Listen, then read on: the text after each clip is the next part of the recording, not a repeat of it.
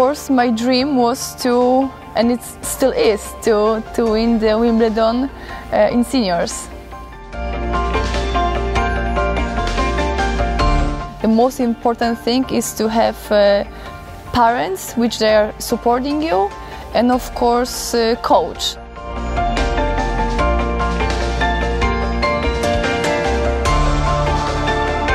So I was kind of prepared to, to win the Junior Wimbledon. It was not like a huge surprise for me.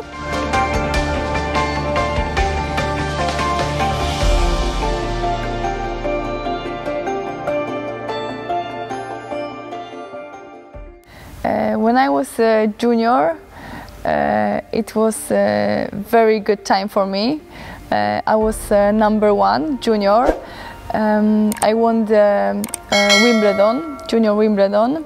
So I think it was uh, the most important thing in my career um, because after winning this title, I believed in myself um, and I thought that if I win Junior Wimbledon, then it, it can be my work in the future, that I can be a really great tennis player. And of course, my dream was to, and it still is, to, to win the Wimbledon uh, in seniors. It's uh, hard to say one tip uh, to be the best junior player. Uh, I think it's all combined, so it uh, has to be everything. Uh, it has to be the, the confidence, great preparation. It has to be also a good mental side. So it's it's everything. Also, um, when I was a small, a small kid. Um, the big part in my life, uh, of course, uh, it was um, it was with my parents because they they uh, they teach me that time uh, how to work hard, uh, how to you know be on the court, how to how to behave and uh, how to how to do everything. So I think the the most important thing is to have parents which they are supporting you and of course uh, coach so i think uh, when you are a junior those people around you they are very important uh, because the, the kid is, is very small uh, junior player is still immature uh, so um, for sure like uh, there is a lot of things around which needs to be you know very great so the player can can only think about tennis and to be a, a good tennis player. And from the very early um, age, um, I was I was winning all the tournaments in Poland. So for me, um, it was not a surprise to to win also tournaments uh, outside my country. Uh, so I was kind of prepared to to win the junior Wimbledon. It was not like a huge surprise for me. Of course, it was it was a great uh, success. That's uh, that's for sure. Um, but like I said, from the very beginning, I was uh, always the best at my age. Uh, I was playing uh, a lot of finals um, against uh, my sister, so we were we were both always at the top. Um, and um, my father also was um, was coaching us very smart. That we were working really hard, but uh, there was also time for some like surprises. For example if we uh, played like a really good practice um, then uh, he would uh, get us some surprise like a candy bar or like an ice cream. It was uh, something very easy but for for me when i was like maybe 14 years old it, it was something. It was something to get uh, from my dad if i played a really good practice. So it was uh, it was hard work but it was also fun. Um, I think it was also very important that that I uh, that I had my sister always by my side Um, we were practicing together, uh, so it was always uh, more fun than to hit just with the coach. Because uh, sometimes when the kid is like, for example, 12 years old, sometimes the practice can be boring. But uh, with my sister, uh, it was it was fun. It was also um, we were also competing for sure against each other, but uh, it was always great atmosphere. And uh, my dad uh, was always treating us equal, so it was not that uh, one girl was better than the other ones. It was easier for me uh, to go from juniors to to, to the um, seniors because uh, I finished as a number one when I was 17 and because of that uh, I could get a white card to uh, ITF tournaments to, to seniors. For example 100,000 or 75,000 yeah I played those two tournaments. I gained some points. And for sure I was also confident you know because I was uh, number one junior, so I stepped into the, you know, um, the I stepped into the seniors with uh, as the number one ranked player. So also the older girls, uh, when they were playing against me, uh, they knew uh, that I was number one. So. Uh, of course, it scared them a little bit. For every girl, is the same. I know that for for men's can be different for sure. But for girls definitely it's, it's the same. If she's 14 years old or, or 25 i think it's the same. It's uh, it's about to to find the balance to say for sure like uh, bad things if she if she's doing bad things or she did something wrong during the match but it's also important to say good things, some positive, uh, so also she can feel that uh, she she did something good, but also those bad things, uh, because then she can improve. We cannot also lie to her face that everything is great because otherwise she she wouldn't um, learn from her mistakes. So I think it's also very important to hear those uh, bad things to, to be a better player. So the first exercise, uh, my coach, uh, he's gonna uh, feed a low ball. So I need to be really low with my with my knees, and uh, I need to focus on the uh, head racket to go under the ball. Uh, so I'm gonna stay here. I'm gonna be in this position, and I'm gonna play like this, very low ball.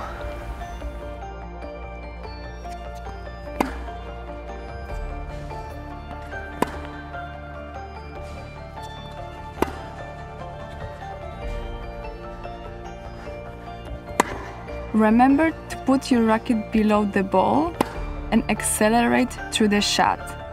To effectively respond to low balls, you have to put enough spin to lift the ball over the net.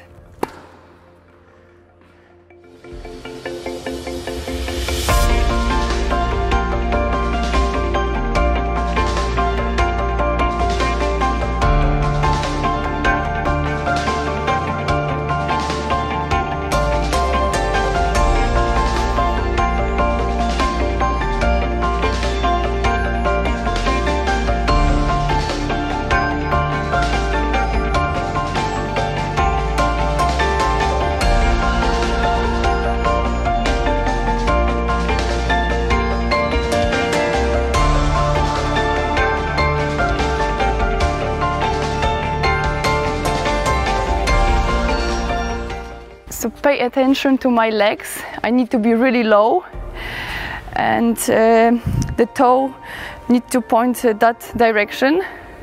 So it's, it's very important and it's, uh, it's uh, close stance. Close stance makes it easier to hit the ball in front of the body. The last step should be longer to maintain good balance and achieve high quality shot. By placing your front foot with proper angle, you allow your hips to rotate through the shot. it gives you more control and more power.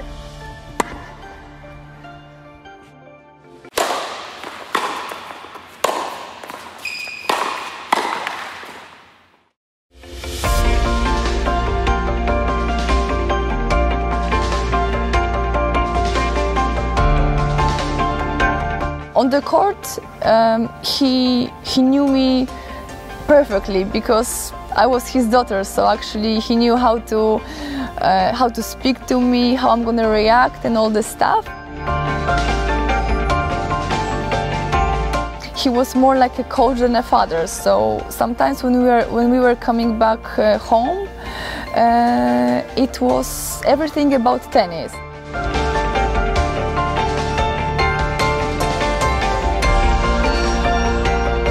Just felt that I needed a change.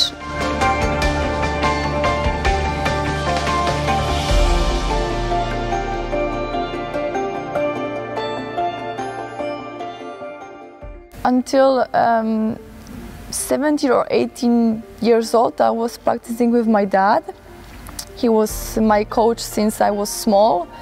So um, basically for um, 14 years. Uh, so that's a long time. And uh, he teach me everything about tennis, all the shots, all the ground strokes. So um, actually, um, sometimes it's good and sometimes it's not good because um, on the court um, he he knew me perfectly because I was his daughter, so actually he knew how to uh, how to speak to me, how I'm gonna react, and all the stuff. Um, everything uh, what he said in the past when I was a junior or when I was a small, everything I uh, understood very good. He was uh, very clear, and um, he was speaking to me um, with very like easy language so I could understand everything. Uh, so basically, um, I think. I think uh, until like 16 years old, uh, we didn't argue. I mean, sometimes it was like emotional or after like bad match or something like that. But uh, I did everything what he said because uh, because he was right. I knew he was right, and I was I was doing it uh, because he's a great uh, coach. But on the other hand, um, he was more like a coach than a father. So sometimes when we were when we were coming back uh, home, uh, it was everything about tennis. It was, to be honest, I don't remember when I could go to him and uh, ask him something as a father. He was more like a coach. Uh, so sometimes sometimes it was very hard and i think uh, that was the main thing that uh, i finished working with him because um, at some point it was already too much. Uh, we were all the time together we were practicing together we were traveling together then at home we were together together. So we started to argue a little bit uh, so we decided that we're gonna split but of course he's still very close to me and he's sometimes helping me or I could ask him about everything. So so basically he's all the time somewhere there by my side. But he's uh, not uh, at, uh, at the control right now. It was not tough to for me to have uh, a new coach uh, outside the family. Uh, to be honest, I don't know why, but I, I just felt that I needed a change. So uh, when I had the, the first coach, which, which was not my father, uh, actually it was it was it was very good. Um, like I could see that you know he's seeing different things, and uh, somehow I also felt that uh, I'm you know improving and uh, yeah, I think I just I can I can adapt very quickly. So if I'm if I have a coach from Poland or from other countries, or, or if it's my dad, uh, I think it's not important for me. The most important thing is that I have to trust the coach. I have to see that he has the knowledge. Knowledge. Uh, so this is the, the most important thing for me. I told you my version about uh, junior career and about uh, work with my dad. But now you're gonna hear it from his side because we're gonna call him. Cześć tato. To powiedz mi coś o e, czasach juniorskich. Jak mnie pamiętasz z tych czasów, gdzie trenowaliśmy razem? Dużo byłoby opowiadać. Zawsze byłaś taka, że robiłaś nawet za dużo. Y, Tam u ciebie było tak, że na przykład iść się trzeba było troszeczkę motywować, a ciebie trzeba było gasić. Czyli u ciebie tak panowała taka wręcz ciśnienie na wynik. y, Pracowałaś nawet za dużo i, i, i powiem ci, czasami ci to przeszkadzało, bo ta nadmotywacja jest nawet czasami gorsza niż niedotrenowanie.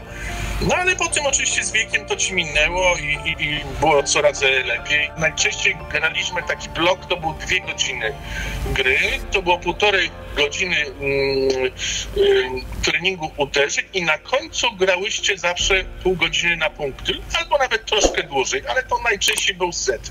No i ja pamiętam, to były straszne walki na halabardy i po prostu widać było, że chcecie tak siebie nawzajem ograć. To było nawet trochę śmieszne, oczywiście mi to bardzo pasowało, bo to do treningu było idealne, żeby, żeby y, was, y, jakby to powiedzieć, podkręcać. Nawet nie trzeba było was tam mówić, że trzeba Snikersa, bo wam kupię, czy tam coś, tylko walka była taka, żeby kogoś y, zdominować.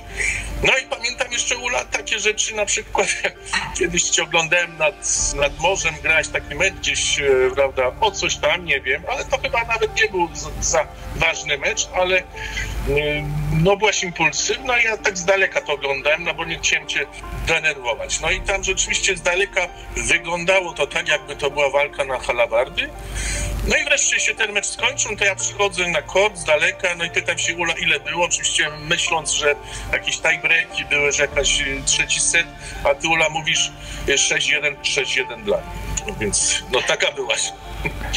Od 12-13 roku życia grałyście już y, dwa razy dziennie, no bo tam była szkoła od, od godziny 10 rano, czyli można było włożyć pierwszy trening od 8 rano. No i tak było, a drugi trening był o trzeciej, o czwartej, potem jeszcze był trzeci, najczęściej jakiś tam ogólna i tak dalej. Także no, cały dzień sportu. Pamiętasz, jedliśmy obiady w, w aucie z, z, z różnych dziwnych, prawda, słoików.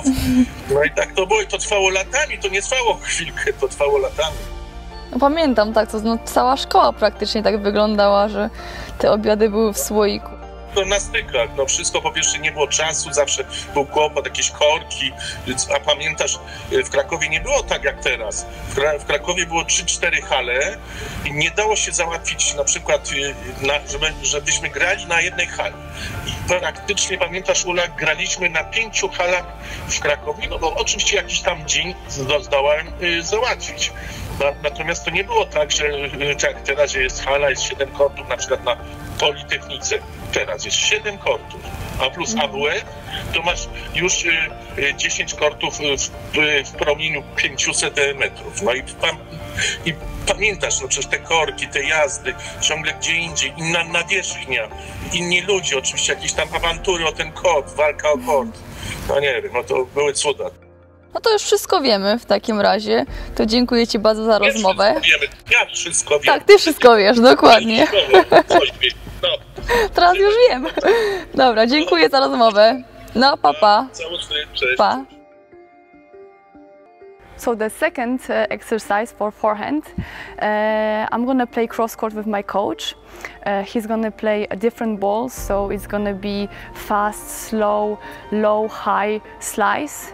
Um, and I need to make adjustments with my legs uh, and to play to, to choose the best shot.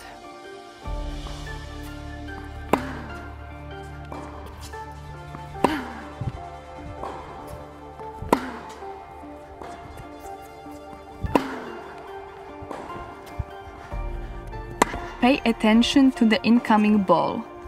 The sooner you can read it, the more time you have to make proper technical and tactical adjustments.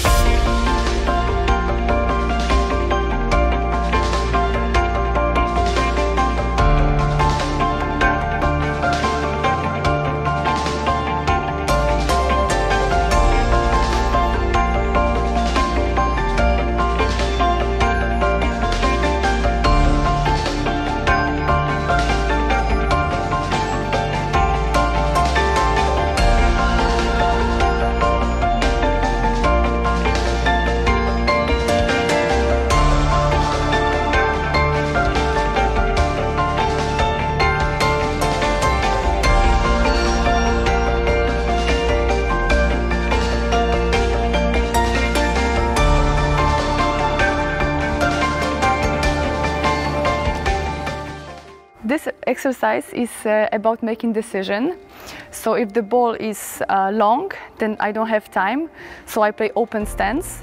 But if the ball is shorter, then I, I have time and I can uh, play um, close stance. So uh, this is really important to make the adjustment, to, to see the ball and to, to have a good reaction.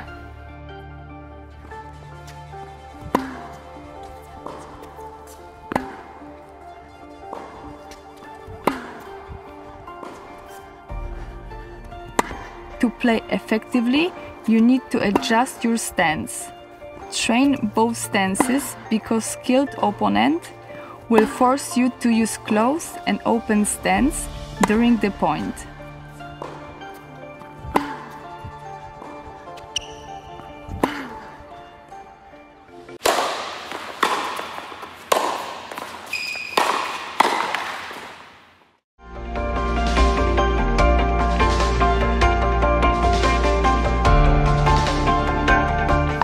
I did too much. That's why when I was 19 years old, uh, I got my first injury.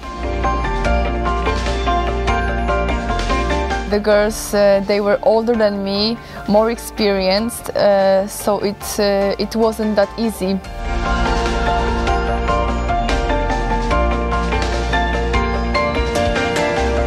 I could do more, I could be even top 20, I could feel that.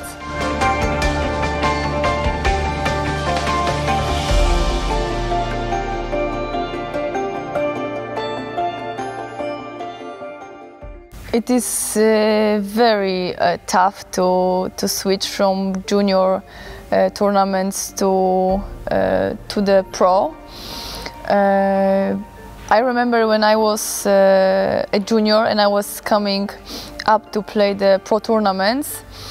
I remember that all of the girls they were older than me, more experienced, so it it wasn't that easy as in junior because I remember that in junior tournaments uh, sometimes uh, if the girl was very emotional um, she could uh, lose like uh, two games and then she would uh, tank the, the whole set. So sometimes uh, the emotions were you know um, taking part of the match but in, in pro tour they were they are a lot of older uh, girls uh, with uh, good experience.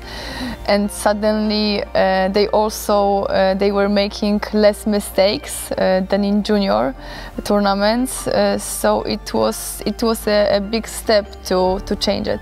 With the schedule for the pro tournaments it was pretty easy because there were there was a lot of um, a lot of small tournaments uh, like 10,000, 25,000. Uh, so basically, uh, I could play week after week. Uh, so in the beginning, I remember I was playing those small tournaments to get used to it, to see the level of the tournaments. Uh, and when I got some points, I was going higher and higher. Uh, so definitely it is important to play those small tournaments to, to get used to it because when you're coming from juniors and you are, you are playing already big tournaments like for example WTA, it's tough because because uh, you are losing more matches for sure because the level is very tough uh, so it's it's not possible to to win a lot of matches. So uh, sometimes it's it, it's very tough because the junior uh, she can lose the confidence by losing uh, by losing a lot of matches. Even though it's it's a big tournament, she's thinking that if she was uh, winning in juniors, then it's going to be the same in pro. But but it was not. So it's it's easy. I mean, it's uh, very important to start with the small tournament uh, to win some more matches, to get some more points, and then to step into the big world. When I uh, went into uh, top 100 when I was 62, uh, I was practicing a lot. Uh, I was playing a lot of tournaments, a lot of matches. I was really, I was very motivated. So Um, I think I did too much. That's why when I was 19 years old, uh, I got my first injury. It was the stress fracture on my lower back, and uh, it stopped me for um, six months. That, that's why it was very tough for me. So if I would uh, change uh, something, then for sure uh, I would stop a little bit and not to play so many tournaments. Uh, but that time I was I was just hungry to, to win matches, to win tournaments, to play more and more. Uh, I couldn't stop, and suddenly. Um, suddenly the body said no so uh, i had to stop for, for half year that's why maybe if, if i would be more smart and maybe if I could say stop that time for a while, uh, maybe uh, it wouldn't go that far to, to get the stress fracture. If you are outside the top 100 and you are playing uh, small tournaments like ITF, uh, it's, it's really tough, especially for girls who were at uh, like top 100, top 50. Uh, so like me for example, I was already 29, I was playing uh, big tournaments on big stadium. And now because of the injuries I dropped a lot so I have to play the small tournaments, I have to play the ITFs which is most of the time in small cities. So it's tough to get there. So the travel is always very long. Uh, the cities are pretty small so except hotel and tennis courts you cannot really see that much. Uh, and also it's tough because in the, those tournaments um, there are not a, lot of spectators. There are like maybe just few people who are coming and and uh, watching the matches. So it's tough because uh, the best thing is in tennis is to go on the big stadium to to play in big tournament uh, again against big stars. So uh, the atmosphere is amazing over there like during the grand slam but when you are playing the small tournament uh, it's tough because no one is watching uh, there is no TV, uh, so sometimes it's really tough to survive. I played a lot of Grand Slam um, already uh, in my life, in my career. Uh, but I'm still hungry to, to play some more and to do better. Right now, um, the best result for me is second round, uh, which is definitely uh, not enough for me. I want to do I want to do more. That's why even though I had few injuries, uh, I still want to come back. Uh, I'm still fighting, uh, still practicing, and I still have, you know, that fire to to be better. My best ranking was 29. Mm, that time also the injury stopped me because I had a shoulder surgery uh, so I know that if the injury wouldn't stop me, I could I could do more. I could be even top 20. I could feel that. Uh, so for sure, uh, I didn't say the last word yet, uh, and definitely I'm gonna fight uh, to have better ranking than 29. Now we're gonna work on, on my backhand. This is definitely my favorite shot and uh, in the important moments I can really count on this uh, on this backhand. Uh, I really like it and uh, it's definitely uh, my best shot. The first exercise uh, for backhand, uh, my coach is feeding me ball, short one, so I have time to, to prepare, and um, I'm gonna I'm gonna finish the, the shot on one leg. This is very important because uh, it's about the balance, it's about the weight transfer. So it's very important to, to finish on the right leg.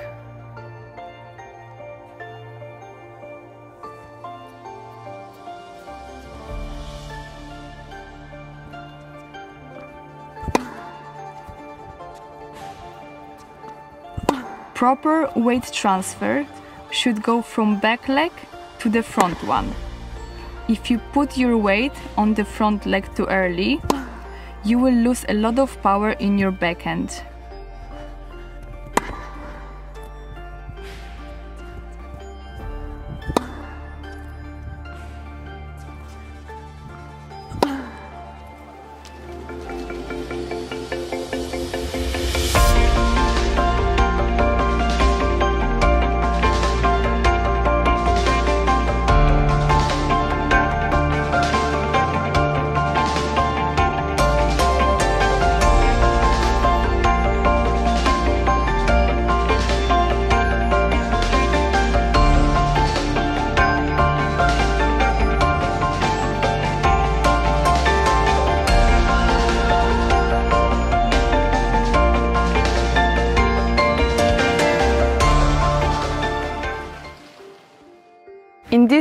exercise, it's important to lean forward, uh, to put the balance on the right leg.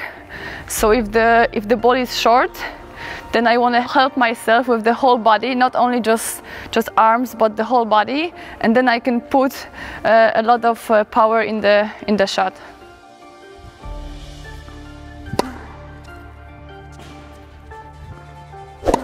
It's a big mistake to try to generate power using only arm and racket. Focus on your body and create linear momentum using close stance.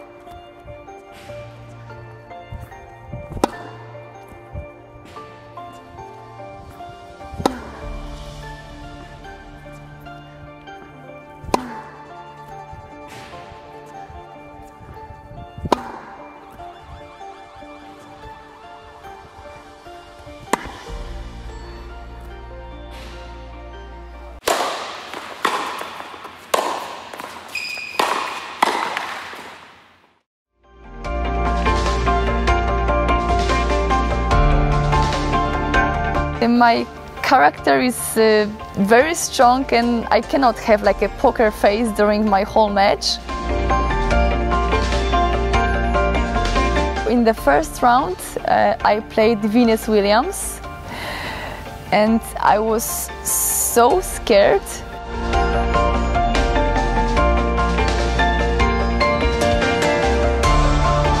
I can scream I can throw my racket, but it has to be less than three seconds. This is like a first reaction.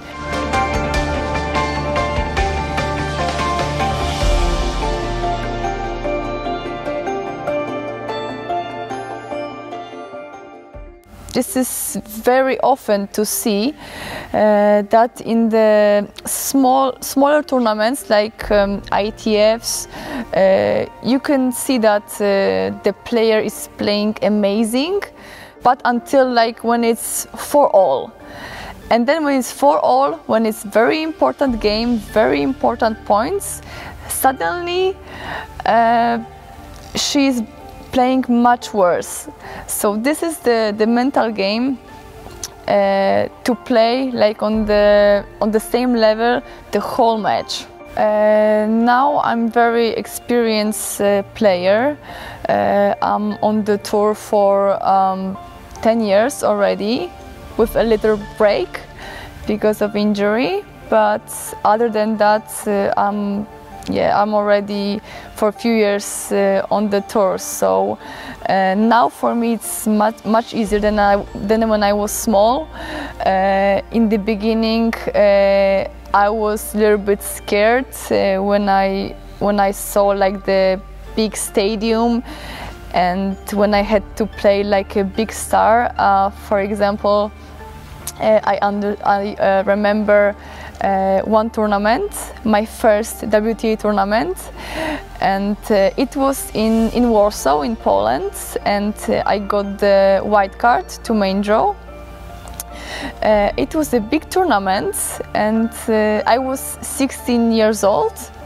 So in the first round, uh, I played Venus Williams, and I was so scared that I remember the moment uh, going uh, going to the central court and I was shaking. Literally I was just shaking. My whole body was like oh my god I'm, I'm I'm not gonna be able to even walk on the court. Uh, so I was really, I, I don't even remember like those things before the match because I was I was really scared. But when I went on the court and I played the warm up with with her, suddenly I just everything just I was just very relaxed and I forgot about uh, everything. I forgot that I'm playing on the big stadium against Venus. And I had this like amazing, how you call it, like a flow. And I played like really good tennis. I lost against her 6-3, um, 6-3. I remember the score even now. Uh, but it, yeah, it showed me that um, before the match, sometimes can be like I can be like really nervous, but when I'm stepping on the court, I'm just you know focusing so much uh, that I don't see any other distractions because during the match there is lot, a lot of distractions. Like there are like people sometimes when I play um, in the in the country, like for example when my opponent is from, it's it's always tough because the whole crowd is against me. Uh, so uh, yeah, this is this is really tough. This is all those distractions.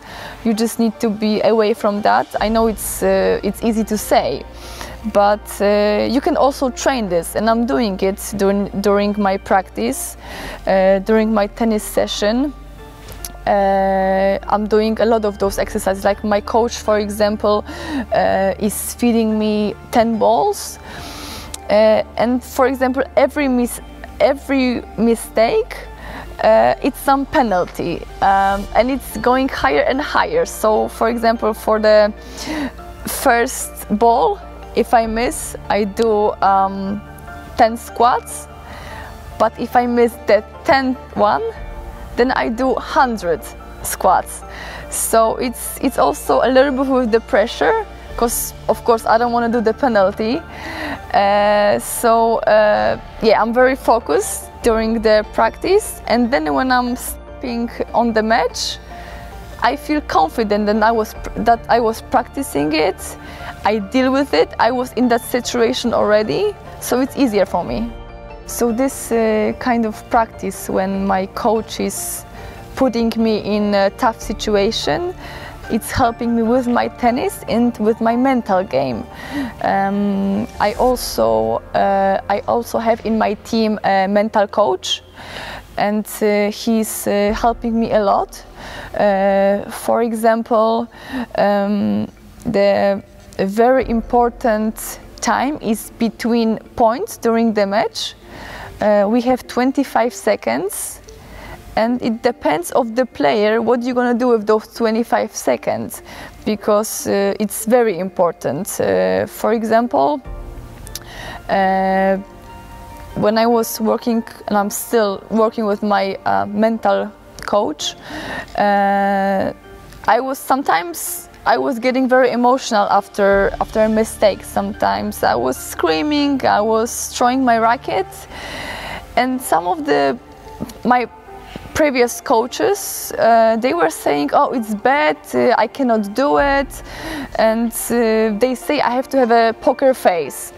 But uh, my character is uh, very strong, and I cannot have like a poker face during my whole match.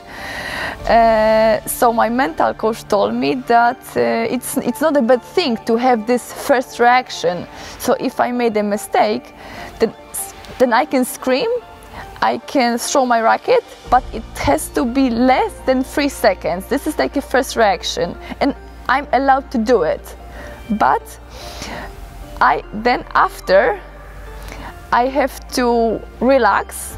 I need to forget about the point. So this is very important because if the reaction is taking uh, too much seconds, then I don't have time to relax, and it's gonna affect the next ball. So after those three seconds, um, I'm just taking a deep breath.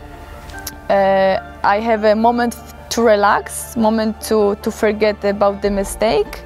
Then I have another few seconds for stimulation to to be again uh, ready for the next point. So those three steps are very important for me in those 25 seconds.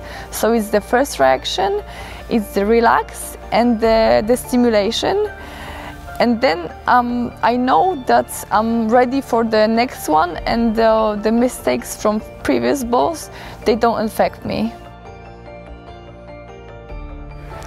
Second backhand exercise, it's very tough because I'm gonna play cross court uh, with my coach and then whoever is gonna miss the first ball, we have to do uh, kangaroo jumps uh, so of course it's tough because nobody wants to lose and nobody wants to do the jumps. Uh, but this is the exercise to, to be focused and to play a solid, uh, solid ball. Uh, it's yeah, it's about to be uh, focused the whole time and and try not to make a mistake.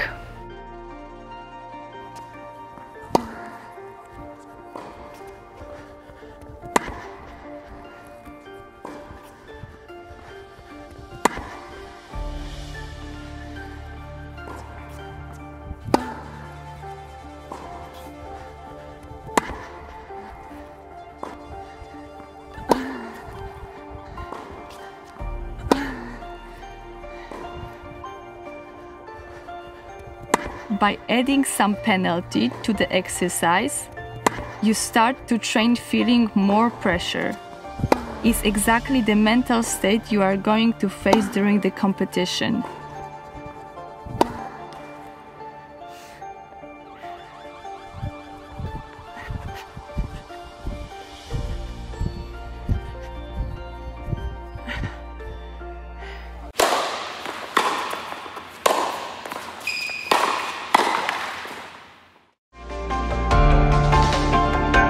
I have tools on the court and when I'm using it, uh, I feel more relaxed, I feel more confidence.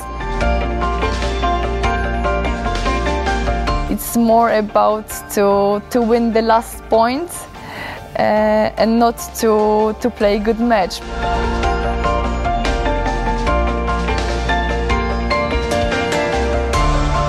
I'm happy that I could uh, I could be in those two worlds, so tennis world and the fashion world.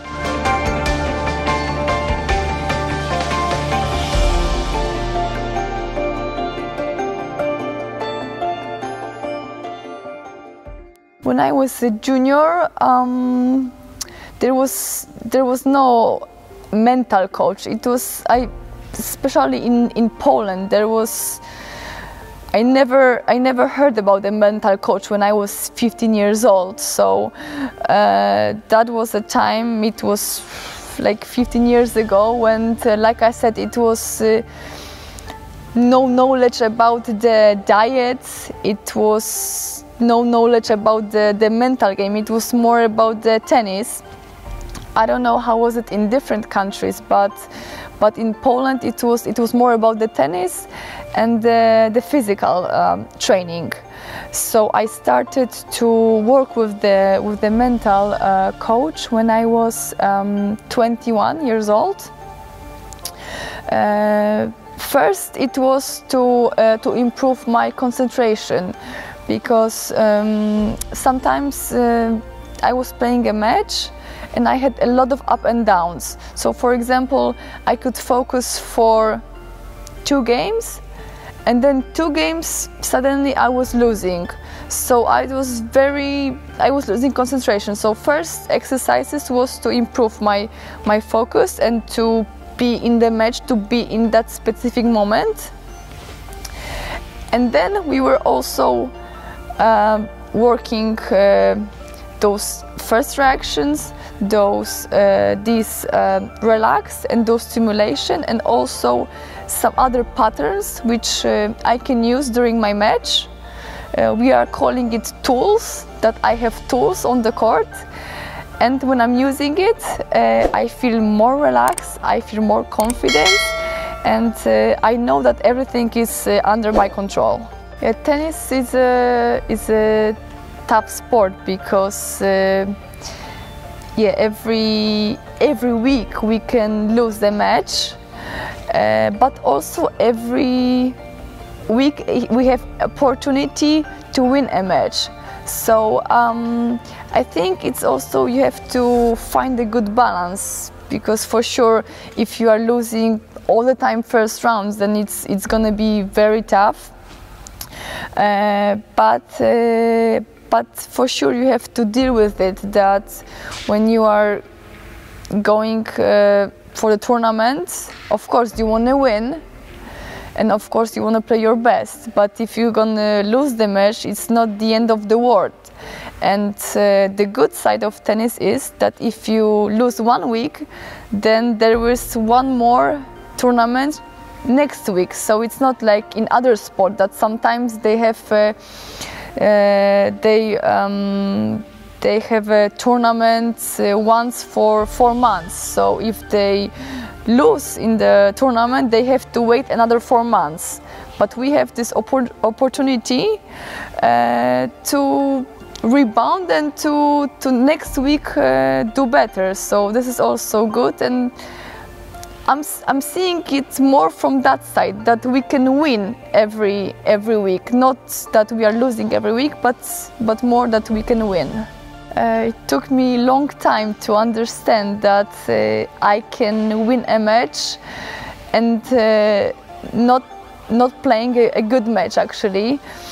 Um, yeah I don't remember that specific moment, but for sure it took me few years to understand that because uh, I'm kind of person that I want to do everything uh, the best. I want to have everything under my control. Uh, so during the, the match, uh, I couldn't stand if I was doing a mistake. Uh, I wanted to play perfect. Uh, I wanted to win every match 6-1, 6-1 uh, it was it was the, the best for me but when it was you know getting tough and uh, when I did uh, more mistakes than I expected I was getting very frustrated. Um, but now I'm I'm older I'm 29 years old so now I understand that uh, it's more about to to win the last point uh, and not to, to play a good match because uh, after a few months, after a few years, nobody's gonna remember how you played that match, but they're gonna remember if you win or if you lose. Tennis is my whole life and uh, everything what I do is uh, because of tennis or for tennis. Uh, so it's, it's basically my whole life, but uh, I found a little escape from that and uh, I launched my uh, own bag company which is called UR and uh, I'm very happy about it uh, because this, this is my own thing. Uh, I did everything uh, by myself. I mean, of course, I have a few people who are helping me with, with those bags, but the idea, the design is mine and uh, I'm the boss in the in the company. Uh, and uh, like I said, this is a little escape from tennis. So if I'm not on the tournament and if I have some time at home, then, uh, for example, I'm. Um, I'm reading about fashion, I'm looking at uh, other bags, other companies, I'm uh, finding an inspiration for the uh, next uh, line, so for the next collection. Uh, and then there's a moment to forget about tennis. Uh, so this is also, um, sometimes it's, it's, very good not to get crazy about tennis all the time. and I'm happy that I could I could be in those two worlds, so tennis world and the fashion world.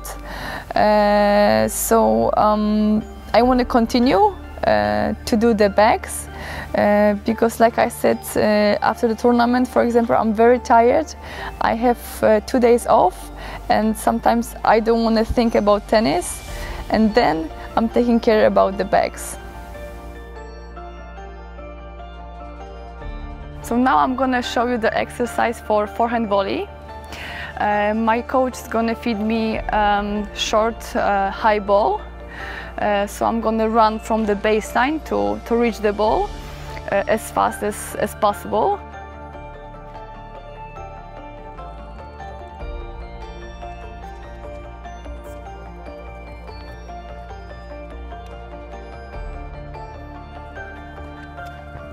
To hit this volley effectively, you should contact the ball between your hips and shoulders.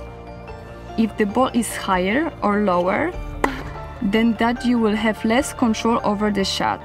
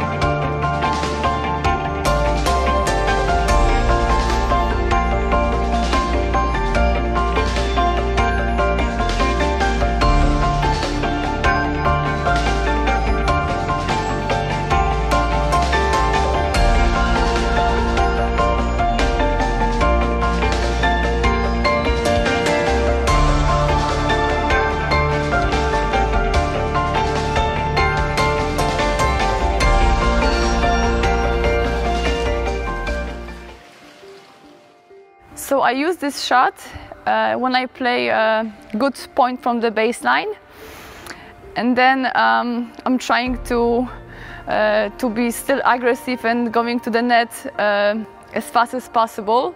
And I see that my opponent is playing easy and short ball, so um, I'm moving forward. And very important is the jump, jump during the uh, during the contact point. So. Um, I'm landing on the left leg and the right one is in the air. So this is very important. And after, after the shot, I'm going few steps forward to, to reach the net.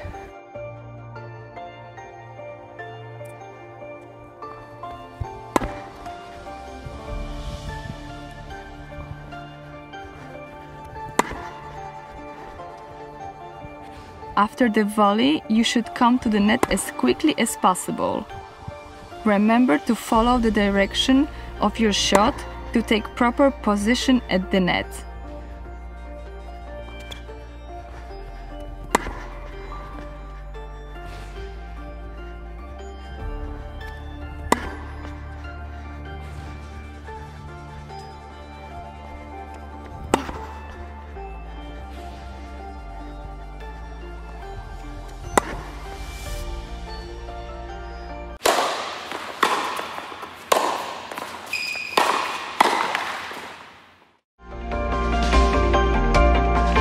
I'm preparing my body for practice which is later on. Every tennis uh, player hates the, the pre-season. Uh, this is really tough work. I'm still practicing six um, days uh, a week, uh, but the recovery is um, a little bit worse.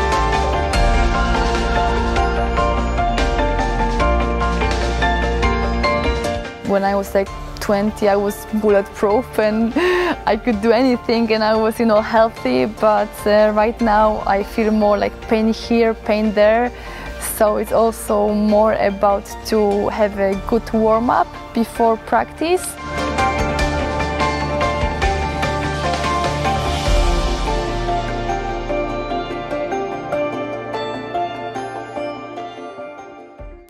Physical training is very important uh, for tennis players, I think for all athletes to be honest, um, because uh, yeah, at some point uh, every player can play forehand or backhand, uh, but you know to be physically great prepare, you have to put a lot of work hard work, a lot of effort.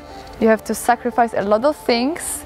So um, I think the players on the top level, they are definitely uh, are also uh, the best, uh, the best prepared uh, at the at the physical training.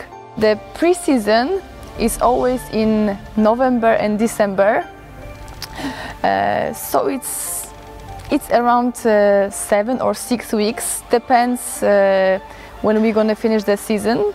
But uh, the season always uh, starts in Australia, which is in January. That's why November and December are without tournaments.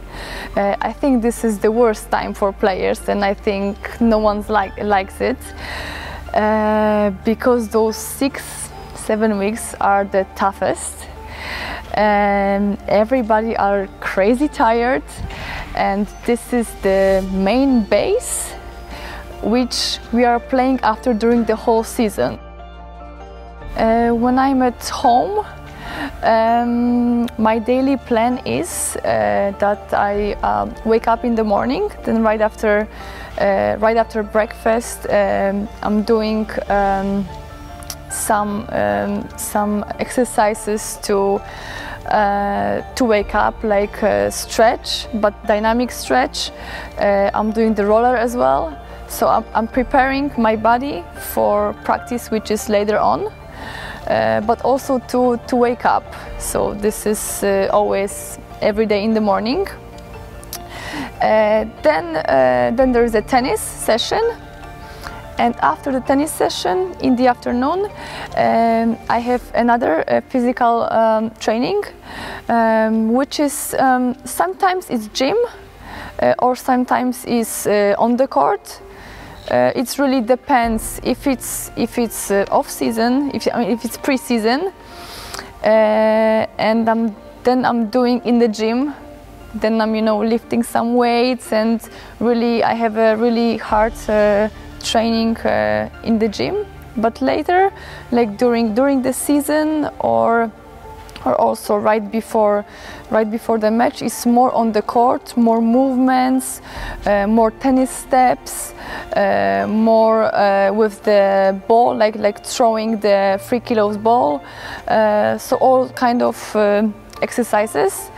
And also um, sometimes it also ends with the exercises to, to prevent like injury. Uh, this is quite boring. I don't like it. Uh, I would rather, you know, run, uh, but I know I have to do it. Uh, so uh, this is also part of my plan. I think every tennis player hates the the preseason. this is really tough work. Sometimes it's even free training during one day so it's it's really hard and uh, the worst um, time it's like fourth week. This is really tough because those three weeks are very very tough. So uh, in fourth week uh, we are dead. Uh, we are starting without tennis court or sometimes maybe two times a week just to hit some balls. But uh, most of the time uh, it's gym. It's really hard gym session with you know weights and you know the whole body is just sore and and it's really tough. Uh, and then after those two weeks we are adding more tennis. And in the end of course it's all about the tennis. And of course in the end it's less gym uh, and more tennis uh, my physical uh, training uh, yeah has changed uh, a lot uh, during the junior tournaments and and when I was 20 and now when I'm uh, 29 so uh, yeah it's it's completely different. Uh, when I was a junior um, I didn't uh, I didn't went to the gym to to weigh some kilos. It was more uh, it was more like a stabilization more coordination and more of this um, I call it like fun stuff. Um, later when I was like 1920 uh, the training was was really hard because um, then I was I was already grown up. Uh, my um, I was recovering I was recovering very fast. so uh, I remember that I was I was practicing from Monday until Saturday, uh, like five hours a day. Sunday was off, um, but yeah, but one day was uh, was enough for me, so I could do that all the time. I could I could uh, I could train like six weeks like like crazy. Uh, sometimes I even had time to to go party on Saturday, uh, and I still I was still recovering and I was I was uh, ready for Monday. But of course, during this uh, party, I never I never drink because otherwise it would be uh, it was no chance. Uh, but I was just going out with friends and just I was just dancing and you know having some fun. Uh, and right now, when I'm 29, uh, it's I still I'm still practicing six um, days a week. Uh, but the recovery is um, a little bit worse. I can feel it. And uh, on Saturday, I'm so tired and I don't want to go anywhere in the evening. So I'm just staying uh, on the couch. I'm just watching Netflix, and uh, basically, this is my end of the week. Uh, so I could feel it. Uh, I could feel more with the recovery because um, training, uh, I think, is quite the same when I was 20 and now 29. Maybe it's gonna be uh, different when I'm gonna be like 35. I don't know. But for now, it's it's it's the same, but it's it's more with the recovery because now I'm I'm older. Uh, so um, when I was like 20, I was bulletproof and I could do anything, and I was you know healthy. But uh, right now I feel more like pain here, pain there. So it's also more about to have a good warm up before practice.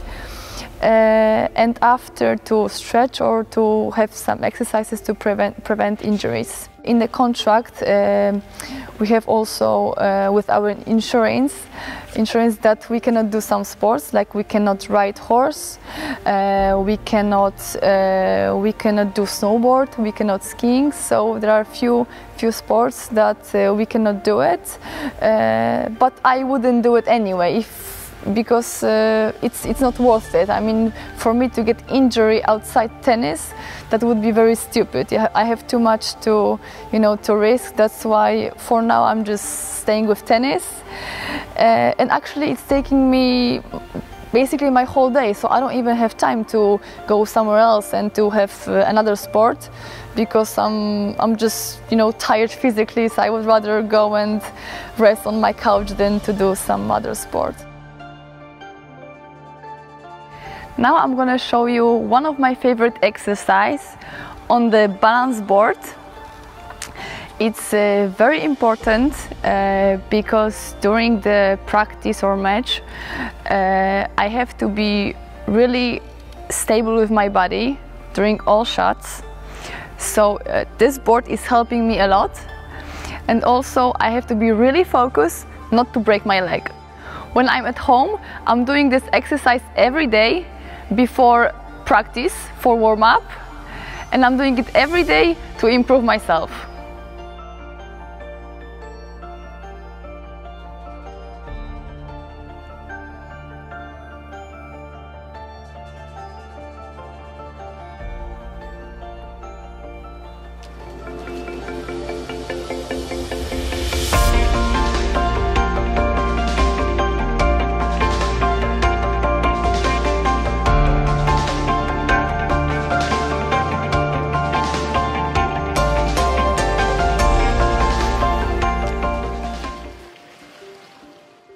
I'm gonna show you the exercise for shoulder prevention.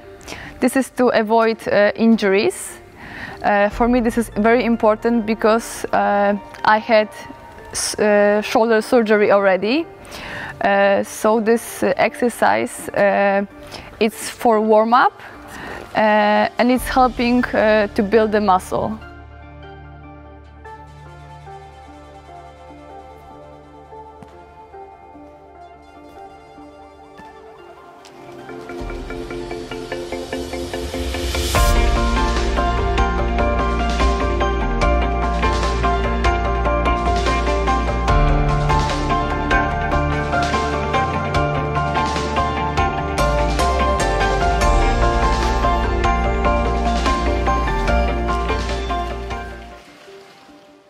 Exercise is very tough. Uh, it's for concentration, it's for reaction, and for making decision. Uh, because uh, my coach uh, is staying next to next to the marks. Here I have two marks. One is yellow, one is blue. And also the yellow has a number 7, the blue has number 9.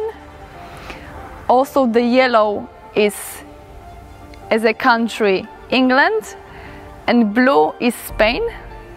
So if my coach is saying for example blue, then I have to, and he's, the coach is uh, throwing the balls, two balls. And if he's saying for example blue, then I have to catch the ball, which is going to the blue mark.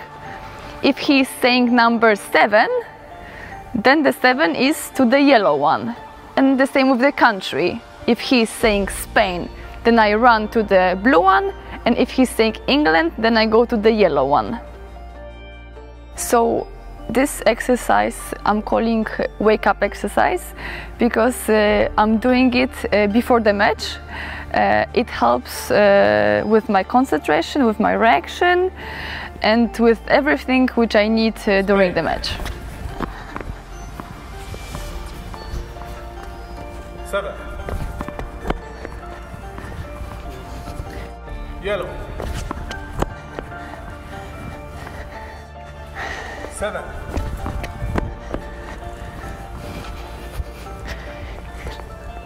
England.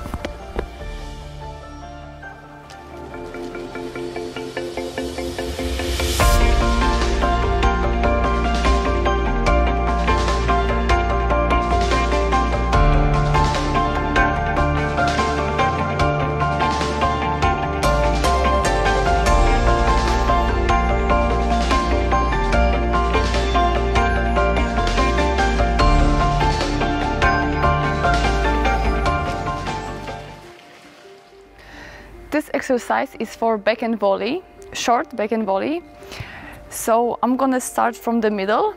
My coach, he's gonna feed me a very short ball, just behind the net. And I need to run and play uh, back and volley, also very short.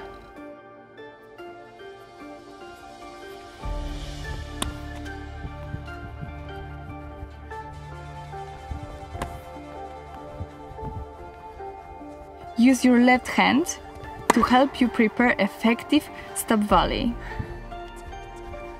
By doing that, you will increase the control over the shot in this really dynamic situation on the court.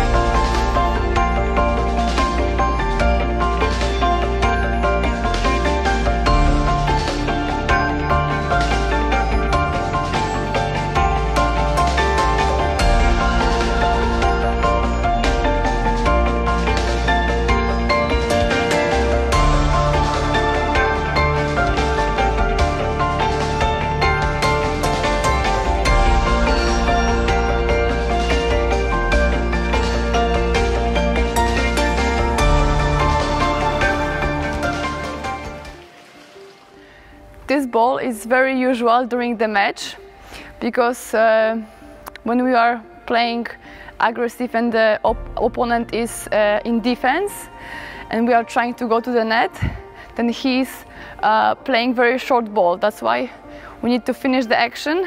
Uh, we need to be very fast because uh, the ball is very short and we want to get the, the ball from the air. We don't want to wait that the ball will bounce so we can take the time away from the opponent.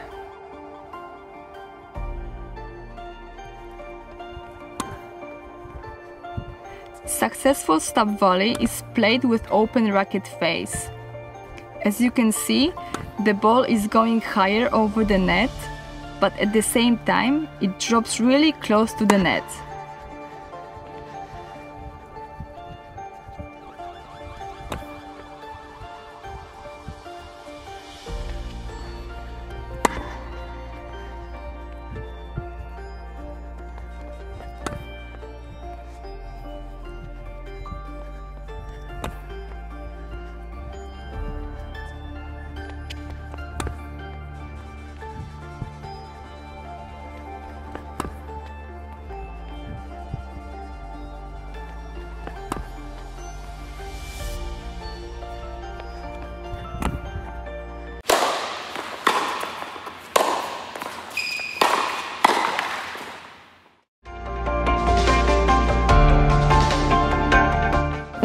For the last uh, few months, uh, I started to be a vegetarian. So I don't eat meat, I don't eat fish, uh, and I'm feeling great.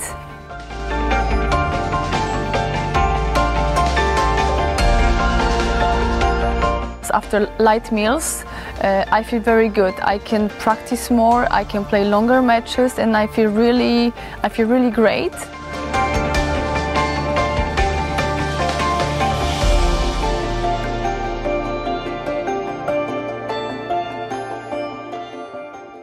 My knowledge about food started when I was around 18 years old.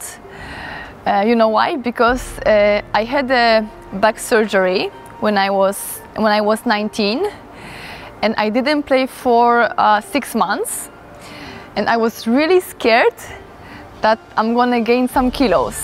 So I started to read about food and uh, and started to eat healthy because until that time until when I was like 18 I was I was eating everything. I was young and it was in the past it was a time that nobody really cares about the diet. Right, right now this is uh, you know the this is a lot of uh, now we have uh, a lot of infos and also we can google everything uh, on the internet. But in the past it was really tough. So yeah I was eating everything but after the, the back surgery, I started to eat very healthy. I was eating salads, uh, I was eating very, very healthy food. Uh, and then uh, after a few months, I came back to, to tennis after the break and I was feeling, I was feeling really good. So uh, I continue. Uh, I continue to, to eat healthy. Uh, now, for the last few months, uh, I started to be a vegetarian. So I don't eat meat, I don't eat fish, uh, and I'm feeling great. I think uh, I'm in the best shape right now for, for the last few years. Uh, so I'm, I'm, gonna, I'm gonna stick to it and I'm not gonna eat meat definitely and no fish. Uh, some of the people ask me, uh, but where do I get the protein from? Uh, but this is easy answer because I'm eating a lot of tofu, a lot of uh, lentils, a lot of chickpeas. So uh, the vegetarian uh, diet is really very good for me. Uh, during the, the tournament, I'm really looking for very healthy food. I'm not eating any, any junk food or any fatty meals. Uh, I am I'm very careful with it uh, because after light meals uh, I feel very good. I can practice more, I can play longer matches and I feel really, I feel really great. Uh, so in my diet there is, there is no time for, for junky food and to be honest I don't, I don't miss it. I, I think I ate uh, the fast food last time I think few years ago and I don't even remember when I when I last time uh, bought the, the like a candy bar from the from the store. I'm not I'm not uh, buying those like instant meals or those like ready candy bars. No, no, this is not in my diet. Uh, and I really pay attention to it, de and definitely during the tournament. I think uh, there is no exact age when the kid should uh, start like uh, some kind of diet, but uh, definitely uh, if he's gonna start earlier, then it's better. Um, I'm not saying about like some kind of crazy diet to I don't know to to say to the kid you don't have you cannot eat any sweet or or something like that because this is a kid so you know kids love uh, any kind of sweets so I think it's it's not healthy to just you know forbid them to, to do it and also um, the young uh, young uh, kids are still growing so you, you cannot also eliminate some some things uh, from diet you know the diet needs to be really really big and a lot of vitamins uh, because the yeah the, the, kid is still still growing and uh, and for sure it needs to be um, you have to go to the nutrition and uh, ask a, a, proper person how to do it. Now it's time to show you some meals. Uh, I prepared for you uh, what I'm eating for breakfast and what I'm eating uh, before the match. This is very easy meals, uh, so you can also easily do it at home.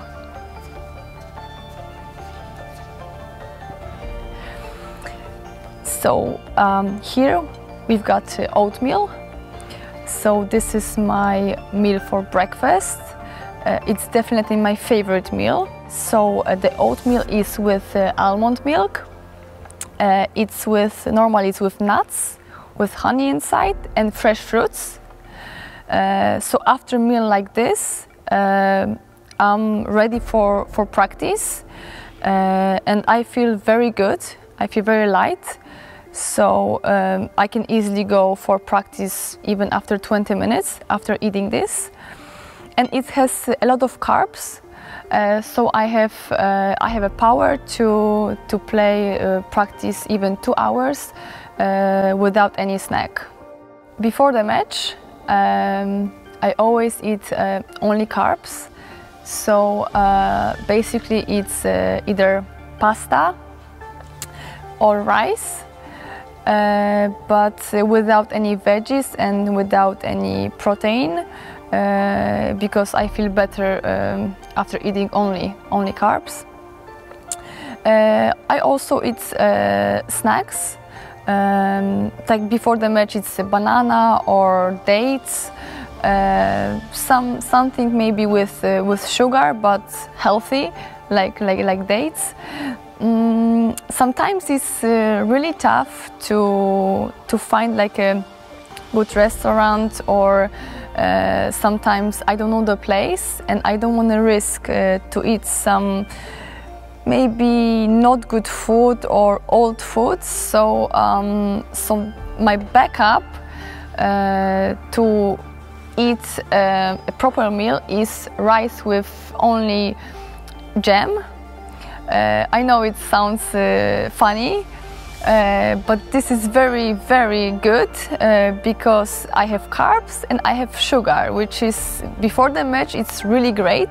During the day, uh, I usually eat uh, five meals. Um, three meals are quite big, which is breakfast, lunch, and dinner. And the rest is a little bit smaller, but still has a lot of calories. For example, like a protein shake or, or smoothie uh, or, some, or some energy bar.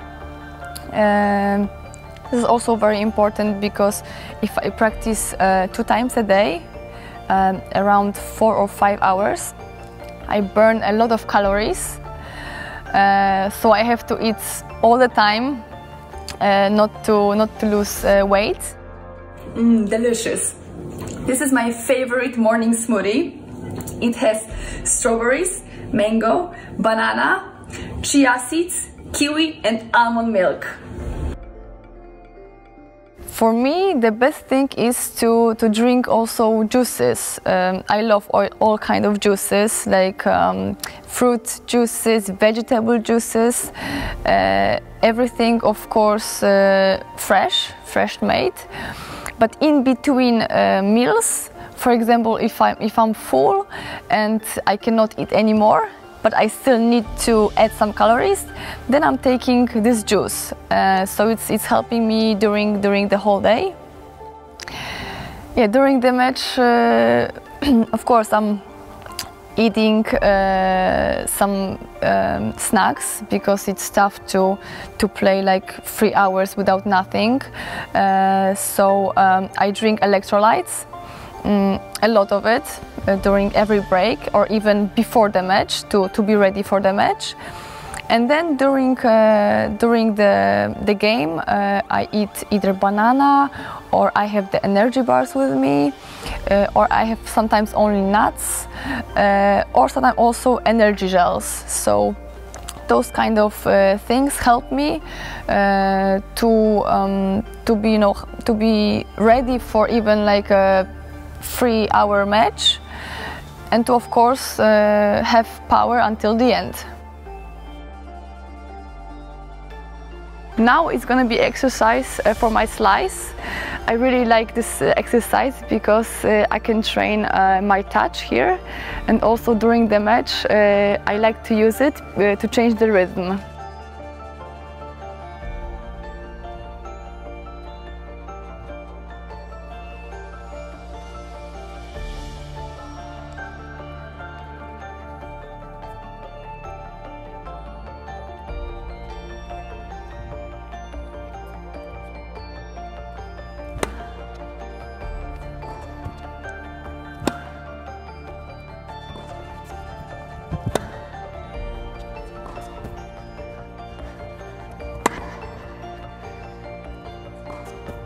You don't have to always use power to win points in tennis. By changing rhythm with slice, your opponent is forced to adapt technically and tactically to this difficult shot.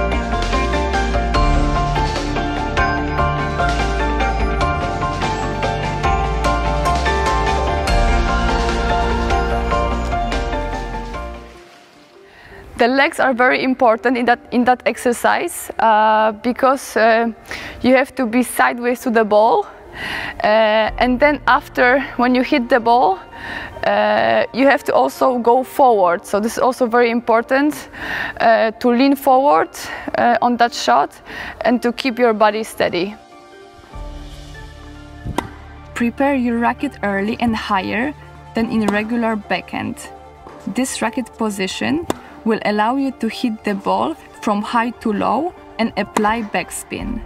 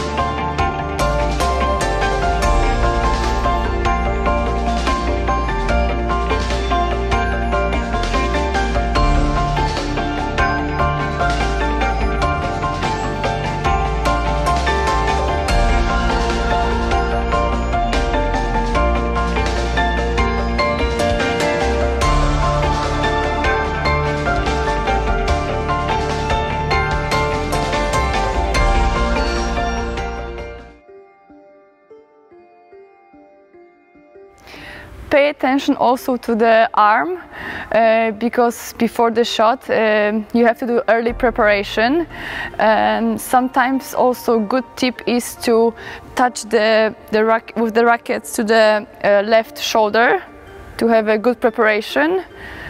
And then when it's coming, you have time to swing.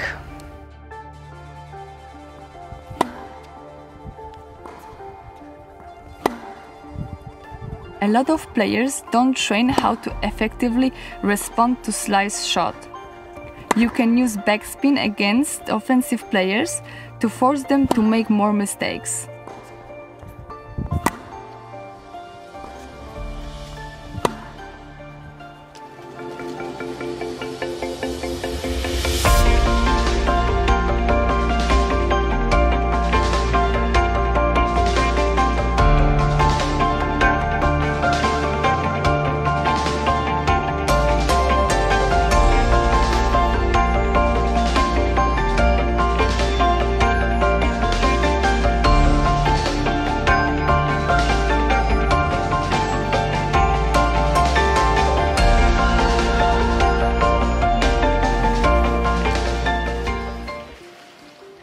Exercise is also for slice, uh, but it's a little bit different one because now I'm gonna play back and cross with my coach and I have to make a good decision when to use the slice. So I don't play slice all the time, but I have to adjust, I have to choose the, the best ball to use it and to, to change the rhythm.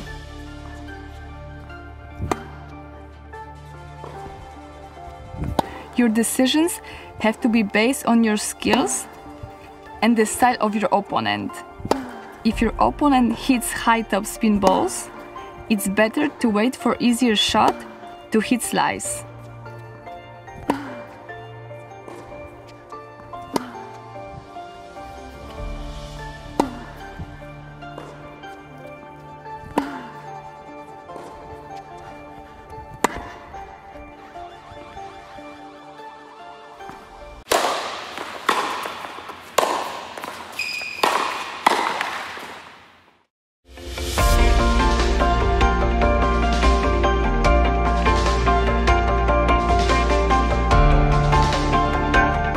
I like to be alone before the match.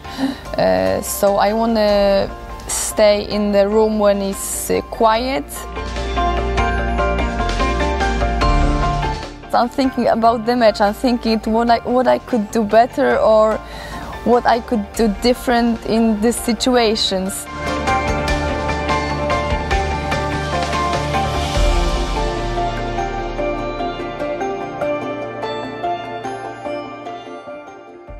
The most important thing uh, during the match day for me is stick to the to my routines.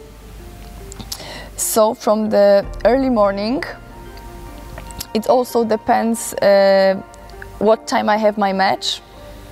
But for example, if it's in the morning, if it's 10 o'clock or 11 o'clock, then I have to uh, wake up uh, at least three hours before the match to get ready, uh, to wake up, uh, and to prepare my body. Uh, so um, it's always the match day always starts with a good breakfast. So um, good uh, proper meal. Uh, most of the time it's oatmeal because I need a lot of carbs before the match. then I go to the gym and uh, I have uh, I'm doing dynamic stretching. Uh, I use roller, and I'm preparing my body for warm up. then I go on the court, and I have 30 minutes of warm up on the court.